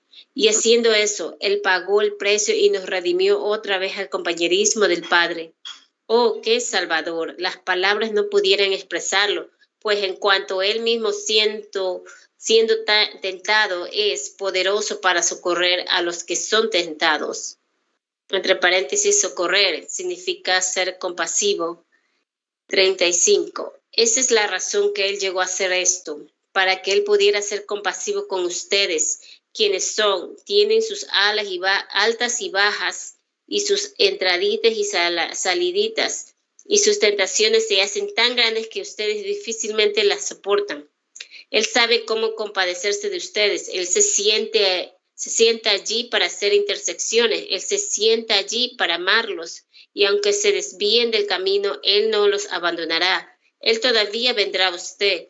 Y usted y tocará su corazón. No hay un apóstata en el edificio que él no sepa que Dios toca en su corazón diariamente. y Él lo hará mientras ustedes sean un mortal en esta tierra, porque Él los amó, Él los redimió a ustedes. Poetas han tratado, autores han tratado, hombres han tratado de expresar ese tema de amor y no puede ser encontrado en expresiones humanas. Uno dijo, oh, amor de Dios, cuán rico y puro, tan fuerte y sin medida, para siempre permanecerá, canto de, santos y ángeles si fuera tinta todo el mar y todo el cielo un gran papel, y cada hoja un pincel y cada hombre escritor, para escribir el amor de Dios no bastaría el océano, los libros contener, contenerlo todo, extendido de cielo a cielo. Párrafo 36. Ustedes nunca entenderán, no hay manera que nosotros entendamos cómo ese gran sacrificio, que él hizo, descendió y nos reconcilió de regreso a Dios. Entonces él fue de regreso y dijo, ahora yo no los dejaré huérfanos, regresaré otra vez y estaré con vosotros, aún en vosotros hasta el fin del mundo. Y aquí estamos hoy viviendo en el fin del mundo con el mismo Jesús, las mismas cosas, las mismas señales, las mismas maravillas, la misma salvación, el mismo Espíritu haciendo las mismas cosas el mismo evangelio, la misma palabra, las mismas ilustraciones, la misma manifestación, todo. No es menester no descuidar esta gran salvación, pues tendremos que dar cuenta algún día de lo que hacemos con el Hijo de Dios. 37. Él está en sus manos en esta noche, pecador, apóstata. ¿Qué va a hacer con él? Usted dice, bueno, lo dejaré para después, pero recuerde, no haga eso. No hay manera en lo absoluto. Si usted es un pecador, que usted pueda salir de este edificio y ser el mismo, usted no puede hacerlo. Pilato una noche trató de hacerlo. Él pidió algo de agua y él se, lo, se lavó sus manos y dijo, yo no tengo nada que ver con eso. Yo estoy como que nunca lo hubiera visto. Yo nunca escuché el Evangelio. Yo no quiero nada que ver con eso. ¿Podía él lavársela desde sus manos? Él no podía. Finalmente, ¿ustedes saben qué le sucedió a Pilato? Él perdió su mente. Y allá en Sucia, en donde nosotros estábamos el año pasado predicando el Evangelio, ahora hay una leyenda antigua que decía que hay un estanque de agua en donde la gente venía de todas las partes del mundo a observar cada año. En el tiempo de la crucificación, Pilato se arrojó para matarse él mismo cometiendo suicidio, brincando en esta agua y ahogándose él mismo. Y cada año en ese mismo día, agua azul sale hirviendo hacia arriba de ese estanque para mostrar que Dios rechazó el agua. El agua nunca puede lavar la sangre de Jesús de sus manos o, su alma. Solamente hay una manera de hacerlo, eso es aceptándolo como su perdón personal y ser reconciliado con Dios. Oremos. 38. Padre Celestial, te damos gracias en esta noche por la palabra, porque, porque fe viene por el oír y el oír de la palabra de Dios.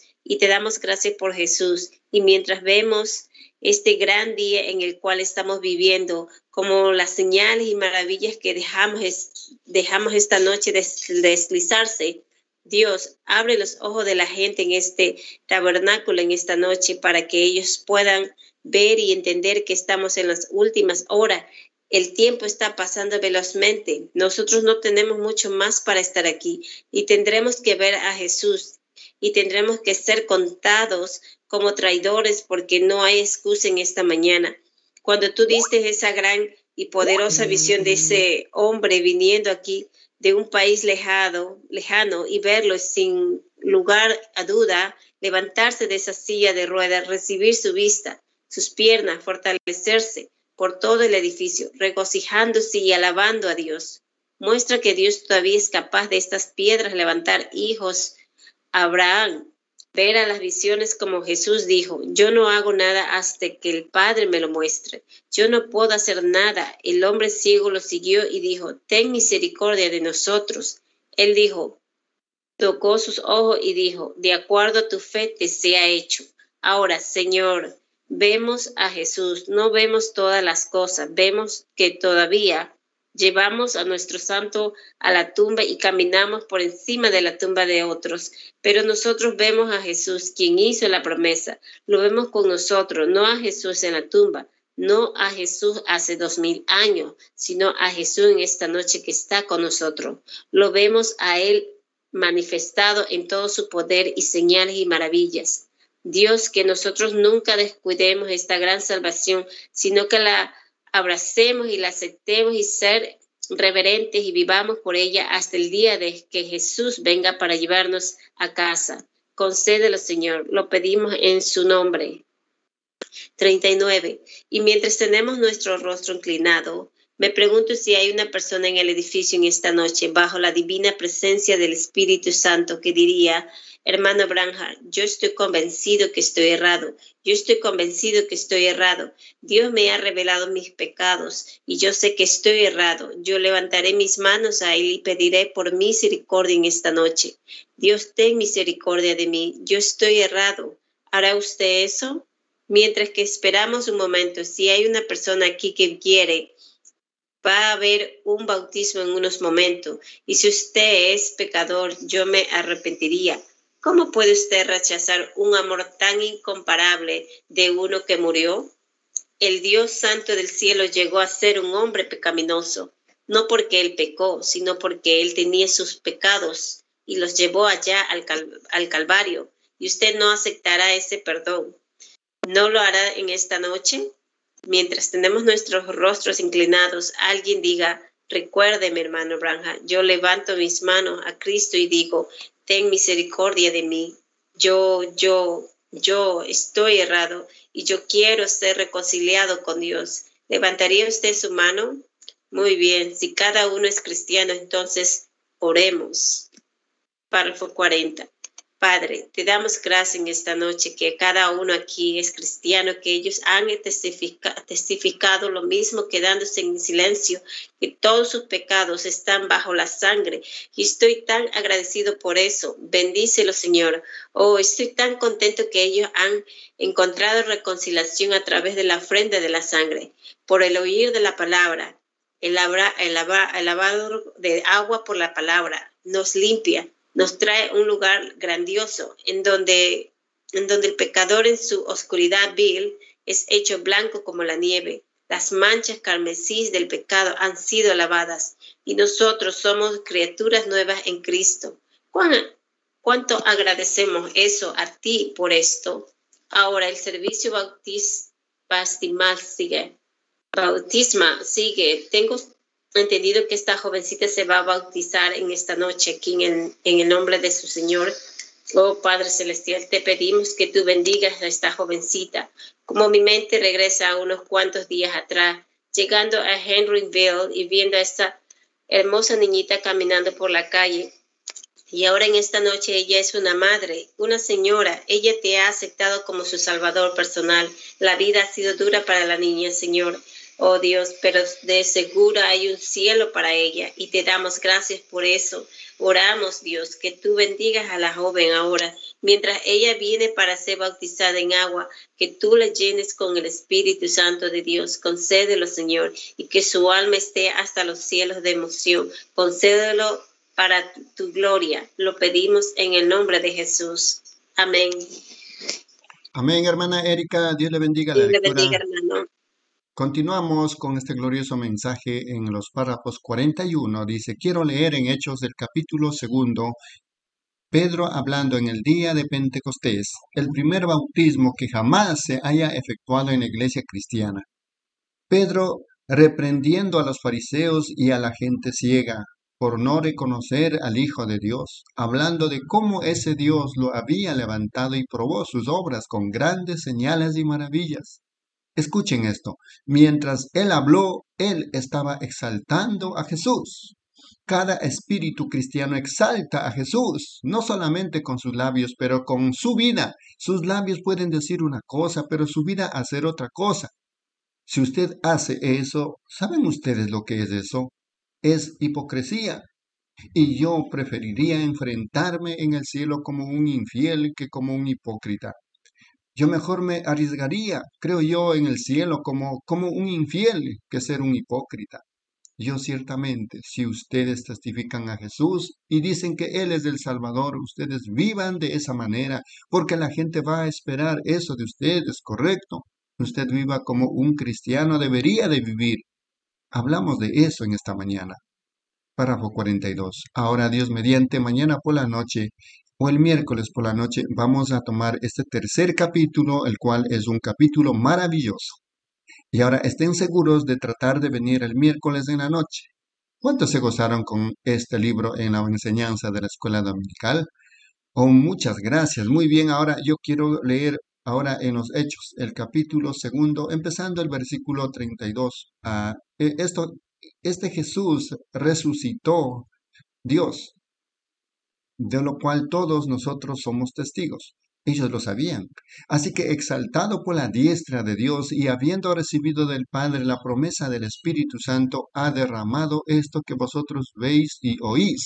Ahora, escúchenlo hablar acerca de David, uno de los ángeles, porque David no subió a los cielos, pero él mismo dice, dijo el Señor a mi Señor, siéntate a mi diestra hasta que ponga a tus enemigos por estrado de tus pies. David no podía subir al el estado bajo la sangre derramada de becerros y machos cabríos y ovejas, pero ahora él podía resucitar, él estaba bajo la sangre del Señor Jesús, porque ellos solamente responden a esa sangre cuando ella viene en poder. Cuando la sangre de Cristo vino en poder, todos aquellos que habían muerto en buen favor resucitaron, correcto, y ascendieron a la gloria. Ahora escuchen, sepa pues ciertísimamente toda la casa de Israel. Escuchen esto, que a este Jesús, a quien vosotros crucificasteis, Dios le ha hecho Señor y Cristo. Cristo es el una tercera persona de la Trinidad o es la Trinidad en su totalidad. Él es la plenitud de la deidad corporalmente. Párrafo 43.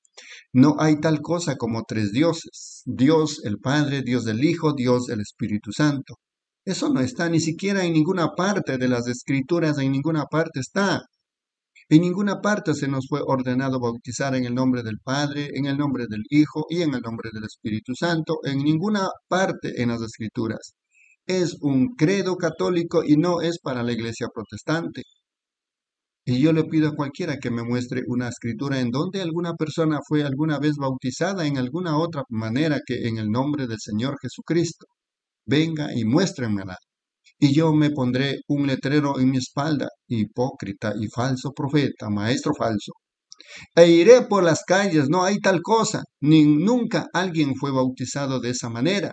Es un credo católico y no una doctrina protestante. Mateo 28, 19, usted dice, Jesús dijo, id por todo el mundo y haced discípulos en todas las naciones, bautizándolos en el nombre del Padre, Hijo y Espíritu Santo. Eso es correcto, pero no en el nombre del Padre, nombre del Hijo, nombre del Espíritu Santo, el nombre del Padre, el nombre, no nombres del Padre. Padre no es un nombre. ¿Cuántos saben eso? ¿Cuántos padres hay aquí? Levanten sus manos. ¿Cuántos hijos hay aquí? Levanten su mano. ¿Cuántos humanos hay aquí? Levanten sus manos. Muy bien, ahora, ¿cuál es su nombre? No es padre, hijo, ni tampoco humano. Párrafo 44. Una mujer me dijo en una ocasión quien era una trinitaria estricta. Ella dijo, hermano Branham, pero el Espíritu Santo es un nombre. Yo dije, el Espíritu Santo no es un nombre. El Espíritu Santo es lo que es es el Espíritu Santo, no un nombre. Eso es lo que Él es. Yo soy humano, pero mi nombre no es humano. Mi nombre es William Branham. Así que si Él dijo, id y haced discípulos en todas las naciones, bautizándolos en el nombre del Padre y del Hijo y del Espíritu Santo. Párrafo 45. Después, Pedro, diez días después, Él dijo, arrepentíos. Aquí escuchen esto, al, al oír esto, se compugieron, se compungieron de corazón y dijeron a Pedro y a los otros apóstoles, varones y hermanos, ¿qué haremos? Pedro les dijo, arrepentíos y bautícese cada uno de vosotros en el nombre de Jesucristo para perdón de vuestros pecados y recibiréis el don del Espíritu Santo. Entonces hizo Pedro lo que Jesús le dijo que no hiciera.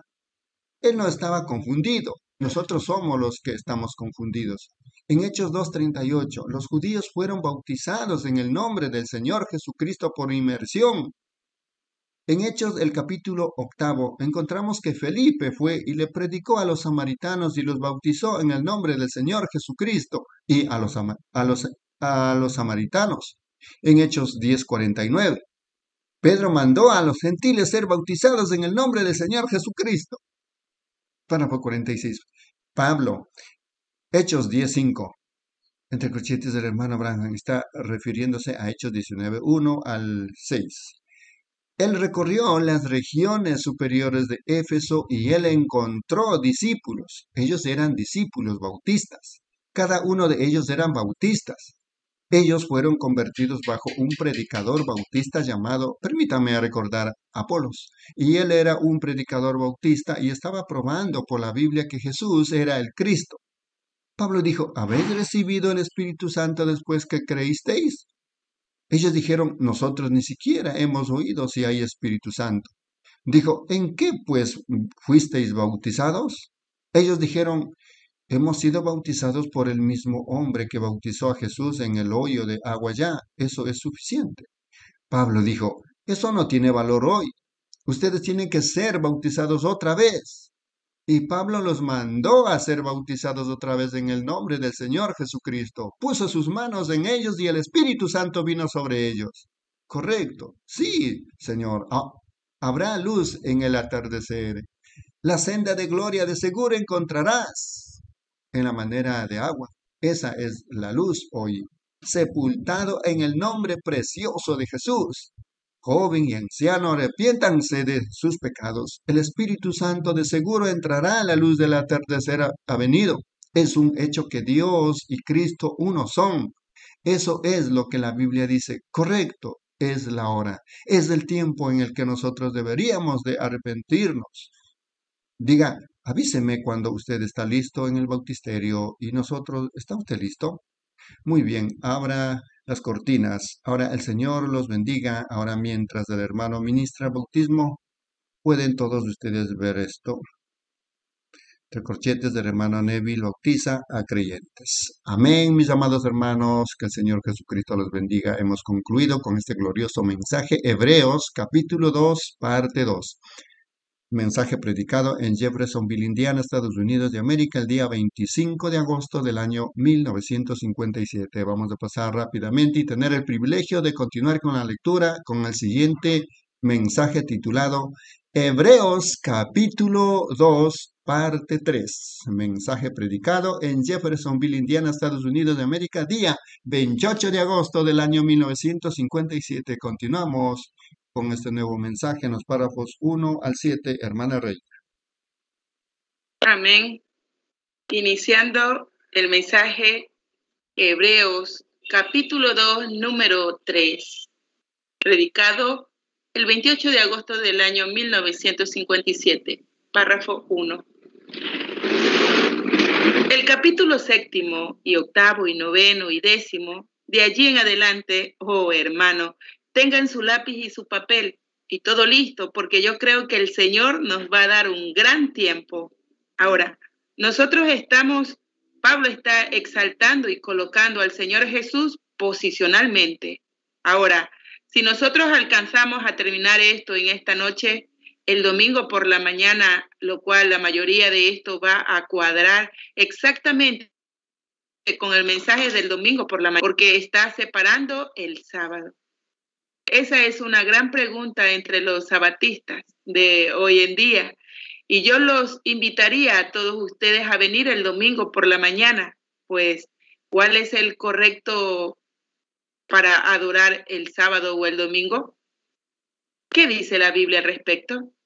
Y así que entonces sea el, este libro está separando la ley y la gracia y está posicionando a cada uno a cada una en su lugar. Los hebreos fueron criados en la ley y Pablo les estaba diciendo a ellos el papel que la gracia desempeñó con la ley. Párrafo 2.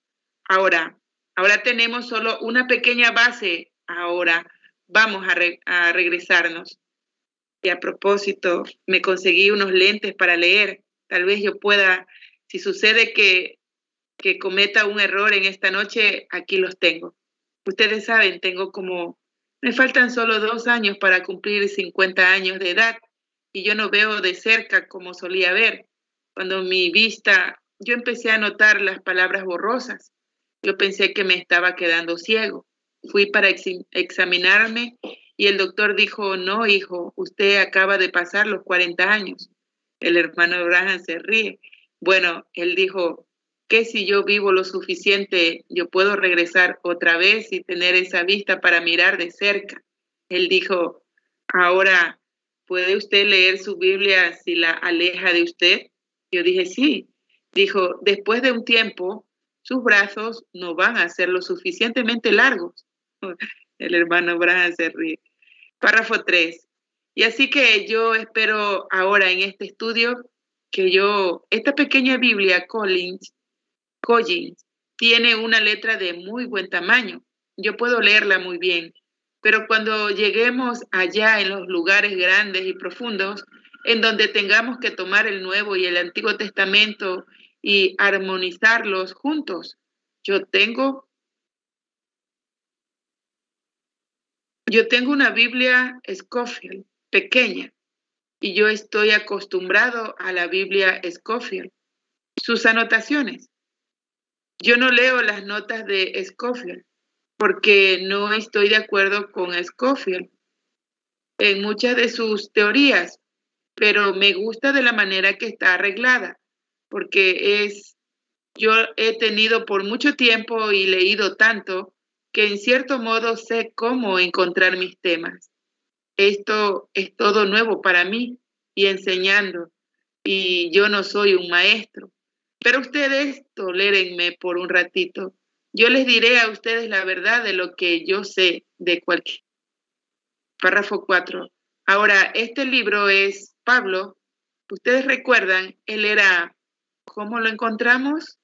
Él era un gran maestro para empezar, o un gran erudito, y él fue entrenado en el Antiguo Testamento. ¿Alguien me puede decir quién nos, dio? ¿Quién nos dimos cuenta que era su maestro? Gamaliel, uno de los maestros conocidos de ese día. Y entonces Pablo nos dimos cuenta un día antes que él fuera llamado Pablo. ¿Alguien puede decirme cuál era su nombre? La congregación contesta, Saulo, Saulo. Y él era una gran autoridad en Jerusalén, una autoridad religiosa. Y él surgió como un, como un hombre religioso, bien entrenado. Él podía hablar cuatro o cinco idiomas diferentes y era un hombre muy inteligente. Bueno, ¿le ayudó su educación e inteligencia? No. Él dijo que tuvo que olvidar todo lo que él sabía para aprender de Cristo. Amén. Así que nos damos cuenta entonces que no se necesita un hombre inteligente o un hombre educado. Se necesita un hombre que esté dispuesto a humillarse delante de Dios, sin importar cómo. Párrafo 5. ¿Sabían ustedes que Tweet Moody era tan ineducado que francamente sus escritos eran mediocres hasta, hasta más no poder? Ellos le tenían que arreglar sus mensajes todo el tiempo él, él era un escritor muy mediocre, muy ineducado. ¿Sabían ustedes que Pedro y Juan de la Biblia eran tan ineducados a tal grado que ellos ni siquiera podían escribir su propio nombre, ni aún lo reconocerían puesto delante de ellos?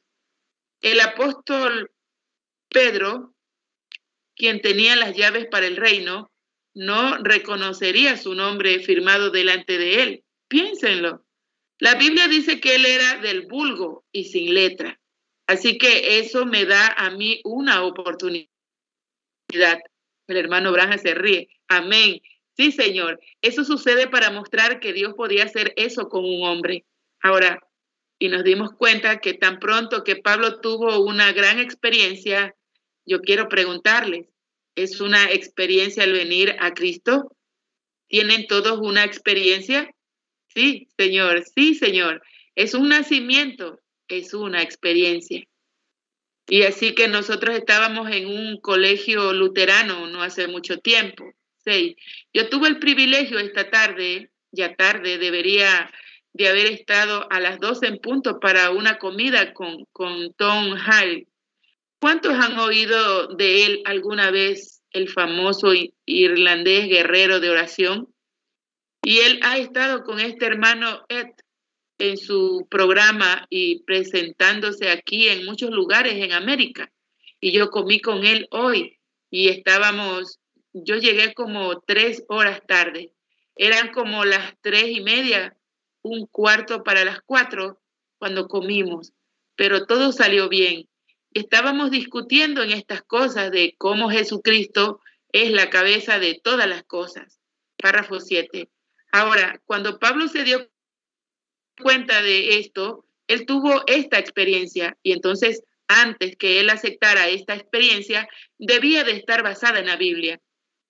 Y nos dimos cuenta que él, que él se fue a otra nación y allí se estuvo por tres años escudriñando la escritura para ver si su experiencia estaba correcta. Ahora nos dimos cuenta que él tenía una cosa grande que afrontar él tuvo que regresar y, decirle a su iglesia y a toda la gente que las mismas cosas que él había perseguido estaban correctas. ¿Tuvieron ustedes que hacer algo igual que eso? Seguramente. Casi todos lo hicimos. Tuvimos que regresar y decir, esa gente que nosotros llamábamos, aleluya, nos dimos cuenta que ellos estaban correctos. ¿Ven? Eso es. Tuvimos que dar una media vuelta y las cosas que una vez odiamos, ahora las amamos. Es una conversión, una cosa extraña, rara. Amén. Dios le bendiga, mis hermanos. Amén, hermana Reina. Dios le bendiga la lectura. Continuamos con este glorioso mensaje. Hebreos, capítulo 2, parte 3, mensaje predicado en Jeffersonville, Indiana, Estados Unidos de América, día 28 de agosto del año 1957. Continuamos, hermana Janet, en los párrafos 8 al 14. Gracias, hermano. Dios le bendiga. Este, aquí en el párrafo 8, continuando con el mensaje de Hebreos 2, capítulo 2, 3. Eh, ahora, yo hice esa declaración de aleluyas. No hay tal cosa, no hay tal cosa, pero ellos llaman a la gente eso, gente santa, pero no hay aleluyas, no hay tal cosa. No hay registros de alguna iglesia que alguna vez se haya registrado así. De lo que, de lo, de lo que yo sé, de las 900 y algo diferente, de, algo diferentes denominaciones. No hay tal denominación como aleluyas. Es solamente un, un, un nombre que el diablo le puso a la iglesia, pero ellos lo llaman en aquel día. ¿Cuántos saben cómo lo, llaman, lo llamaban en los días de Pablo? Eh, heréticos. ¿Saben ustedes lo que significa un herético? Loco. Es una gente loca. Así, así que para mí es lo mismo que me llamen tanto aleluya como herético. A usted no, a ustedes no, Así que si ellos, si ellos fueron llamados eso y se regocijaron y ¿Y qué dijo Jesús que nosotros hiciéramos al respecto? Él dijo, gozaos y alegraos en gran manera, porque grande es, grande es vuestro galardón en el cielo, porque así persiguieron a los profetas antes de vosotros. Ellos lo hicieron párrafo 9, dijo, ¿qué nos, gozare, ¿qué nos gozaremos en gran manera? Cualquier cosa que es en gran manera es algo que es levantado muy alto, muy feliz. Y los discípulos, cuando ellos fueron encontrados dignos de llevar el reproche del nombre de Jesús, ellos se regocijaron con gran gozo que ellos pudieran llevar el reproche de su nombre. Y hoy, mucha gente, hoy, si a ellos les llamaron aleluyas, ellos se acobardarían, caray, tal vez yo estaba errado para empezar, pero ellos estaban felices al respecto. Oh, hermano, de llevar el nombre. Y ahora, en el siglo segundo, ellos lo llamaron espadas con cruces. Y eso era, era cuando los cristianos solían cargar una cruz en sus espadas, en sus espaldas, para mostrar que ellos estaban crucificados con Cristo. Ellos lo llamaban espaldas con cruces. Ahora, yo sé que los católicos, ellos mismos se llaman eso, pero esa no es no era la iglesia católica, esa era la iglesia protestante, antes que fuera llamada iglesia protestante. Ella no protestó otra cosa más que el pecado. La razón que es llamada hoy iglesia pentecostal protestante es porque protestó el, el dogma católico, pero es un, es todavía ella no era sectaria. En ese tiempo, cuando ellos fueron llamados espaldas con cruces. 10. Solo consíganse una historia de Josefus y los otros escritores y la de Iglop, dos Babilonias y demás. Y ustedes encontrarán que eso es correcto, que ellos no eran la iglesia. La primera iglesia organizada que hubo fue la iglesia católica, como unos, como unos 300 años después de los, de los últimos apóstoles, como 300 años después, la Iglesia Católica fue organizada y empezó una persecución, una persecución y forzaron a la gente a entrar a la Iglesia Católica. Y ellos tenían a la Iglesia y, y al Estado Y al Estado Unidos. Eso fue después de lo que fue la así llamada conversión, conversión que con Constantino del paganismo al catolicismo, pero si alguien alguna vez ha leído su historia, él nunca fue convertido.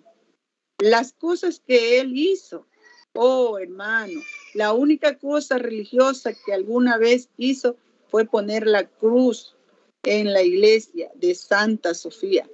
Esa fue la única cosa en la que alguna vez actuó religioso. Él era, él era un reprobo, pero ellos le llamaron su, su conversión. Esto casi se con algunos así llamadas conversiones de hoy en día. 11.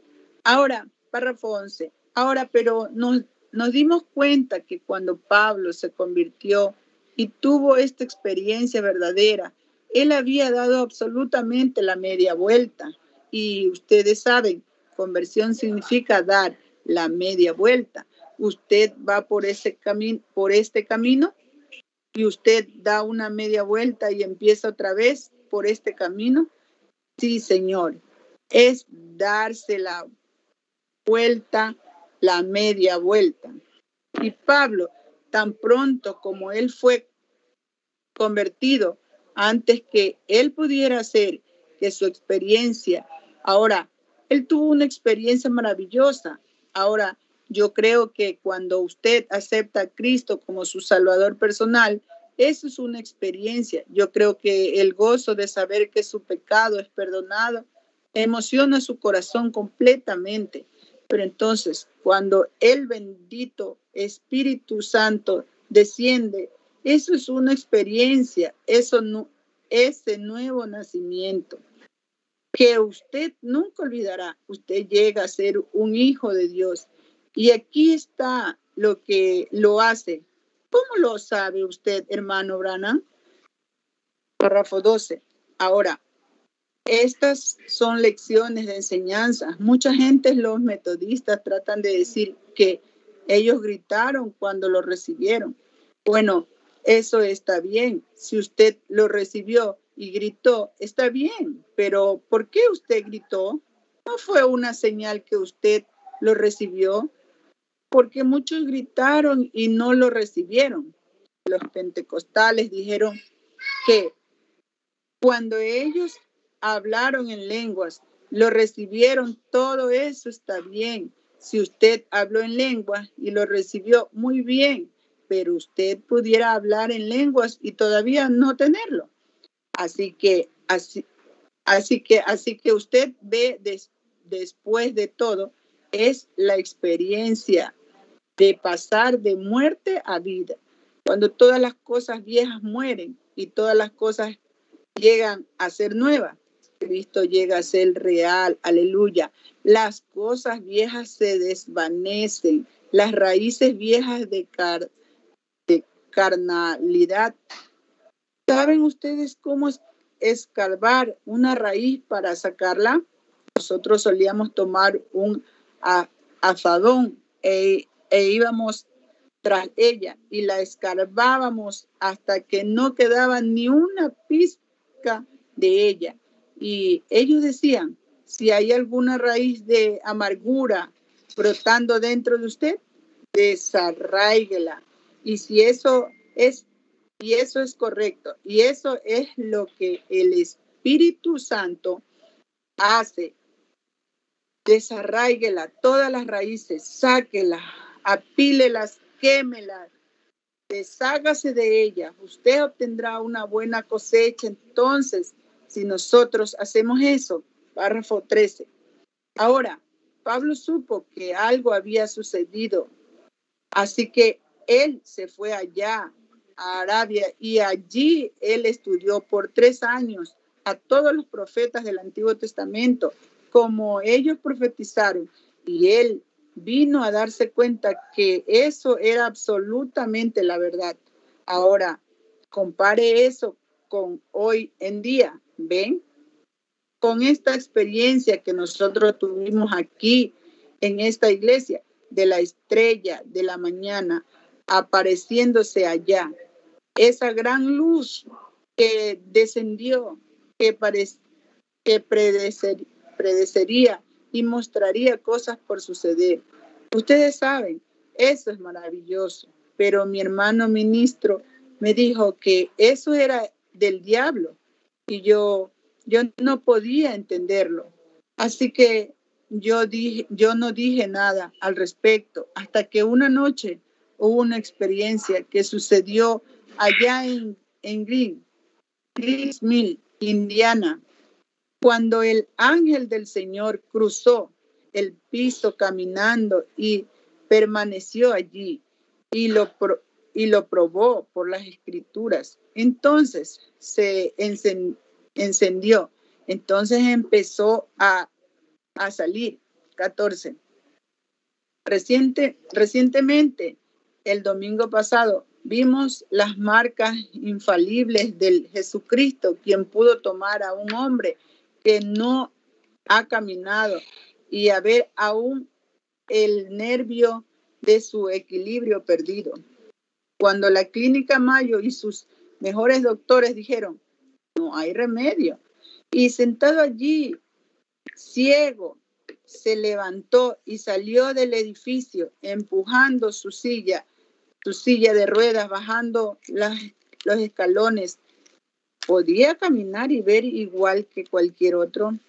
Eso muestra que es el poder de la resurrección del Señor Jesús.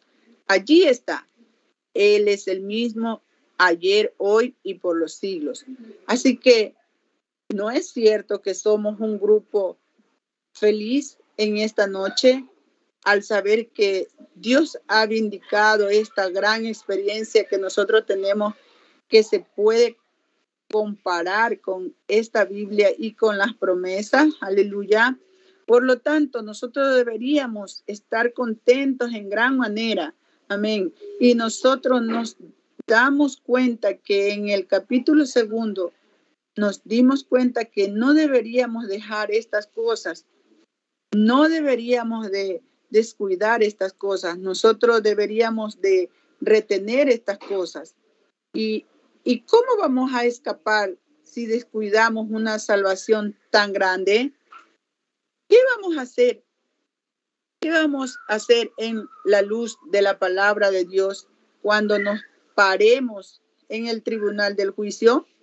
Usted no puede decir, yo nunca supe nada de esto. O si ustedes supieron, bueno, mire, el hermano Branham pudiera haber estado equivocado. Eso es verdad, pero Dios no está equivocado, su palabra no está equivocada y eso solo piensa que la y solo piense que la misma cosa, la Biblia, que una vez vivió en los apóstoles, está viviendo otra vez. Oh, bendito sea el nombre del Señor. Aleluya. Amén. Amén, hermana Janet. Dios te bendiga la lectura. Dios le bendiga. Eh, ha sido un maravilloso el tener el compañerismo con todos ustedes y muy saludable, hermana Alfonso. Dios le bendiga, hermana Erika. Dios le bendiga, hermana Janet, Luisa, Luis Ocampo, hermana Reina. Dios le bendiga a todos. hermanos. Amén. Aleluya. Dios los bendiga. Si el día de mañana nos permite Dios, continuaremos con este glorioso mensaje Hebreos capítulo 2, parte 3, mensaje predicado en Jeffersonville, Indiana, Estados Unidos de América, el día 28 de agosto del año 1957. Amén, hermanos. Bendiciones, mis amados hermanos. Hermano Alfonso, confirme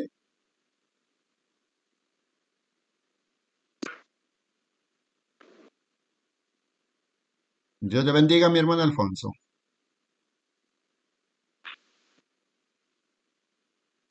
Bueno, queríamos pedir unas palabras de oración, creo que no está. Bueno, vamos a darle gracias, Señor Dios Todopoderoso. Muchísimas gracias, Señor, por esta gran oportunidad que tú nos has dado, Señor, en esta tarde y noche, donde tú nos permites instruirnos de la manera tan perfecta como enviaste al profeta, el primer astronauta de este mundo, oh Padre, el primer águila que vino en la escena. Oh, pero es el primero que fue capacitado por tu palabra, Señor. Fue el primer águila. ¿Por qué? Porque tú enviaste en este último tiempo la unción del águila y pudo captar él. Estaba predestinado antes de la fundación del mundo, oh Padre, para captar estos gloriosos mensajes. Apocalipsis 17 en la escena, Señor, sino que en los días de la voz del séptimo ángel, cuando Él comience a tocar la trompeta, el misterio de Dios sería consumado, como así lo anunció a sus siervos los profetas. Oh Padre amado, entonces qué glorioso mensaje que estamos lecturando esta noche, Señor. Permite entrar con, con más seguridad, porque es tu palabra perfecta, Señor. Permite ingresar con, con esa fe ardiente que tú nos mandas, Señor, como a José y Caleb, Tú le dijiste, oh Padre, que nunca te desmayes todos los días, Señor. Entonces queremos hacerlo de esa manera, obedecer y cumplir tu palabra, Señor. Oh Señor, Dios Todopoderoso, si hay un día más para nosotros, estar aún en esta tierra, Señor, nos uniremos nuevamente, oh Padre amado, a continuar con este glorioso compañerismo que tú nos has puesto en cada una de nuestras vidas, Señor. Tú nos encontraste y agradecido por eso, Señor uno perdido en el mundo, pero tú nos encontraste y por esa razón, Señor Dios Todopoderoso, muchas gracias. Y los hermanos y hermanas que han estado en la cena también agradecidos nos pedimos, no de tu presencia, Señor, sino más bien de este compañerismo que hemos tenido de vuestros hermanos, Señor, glorioso y saludable, oh Padre, en el nombre del Señor Jesucristo. Amén, mis amados hermanos, que el Señor Jesucristo los bendiga ricamente. Amén, amén. Amén, hermano. Dios le bendiga. Dios le bendiga, hermana Janet. Hermana Erika.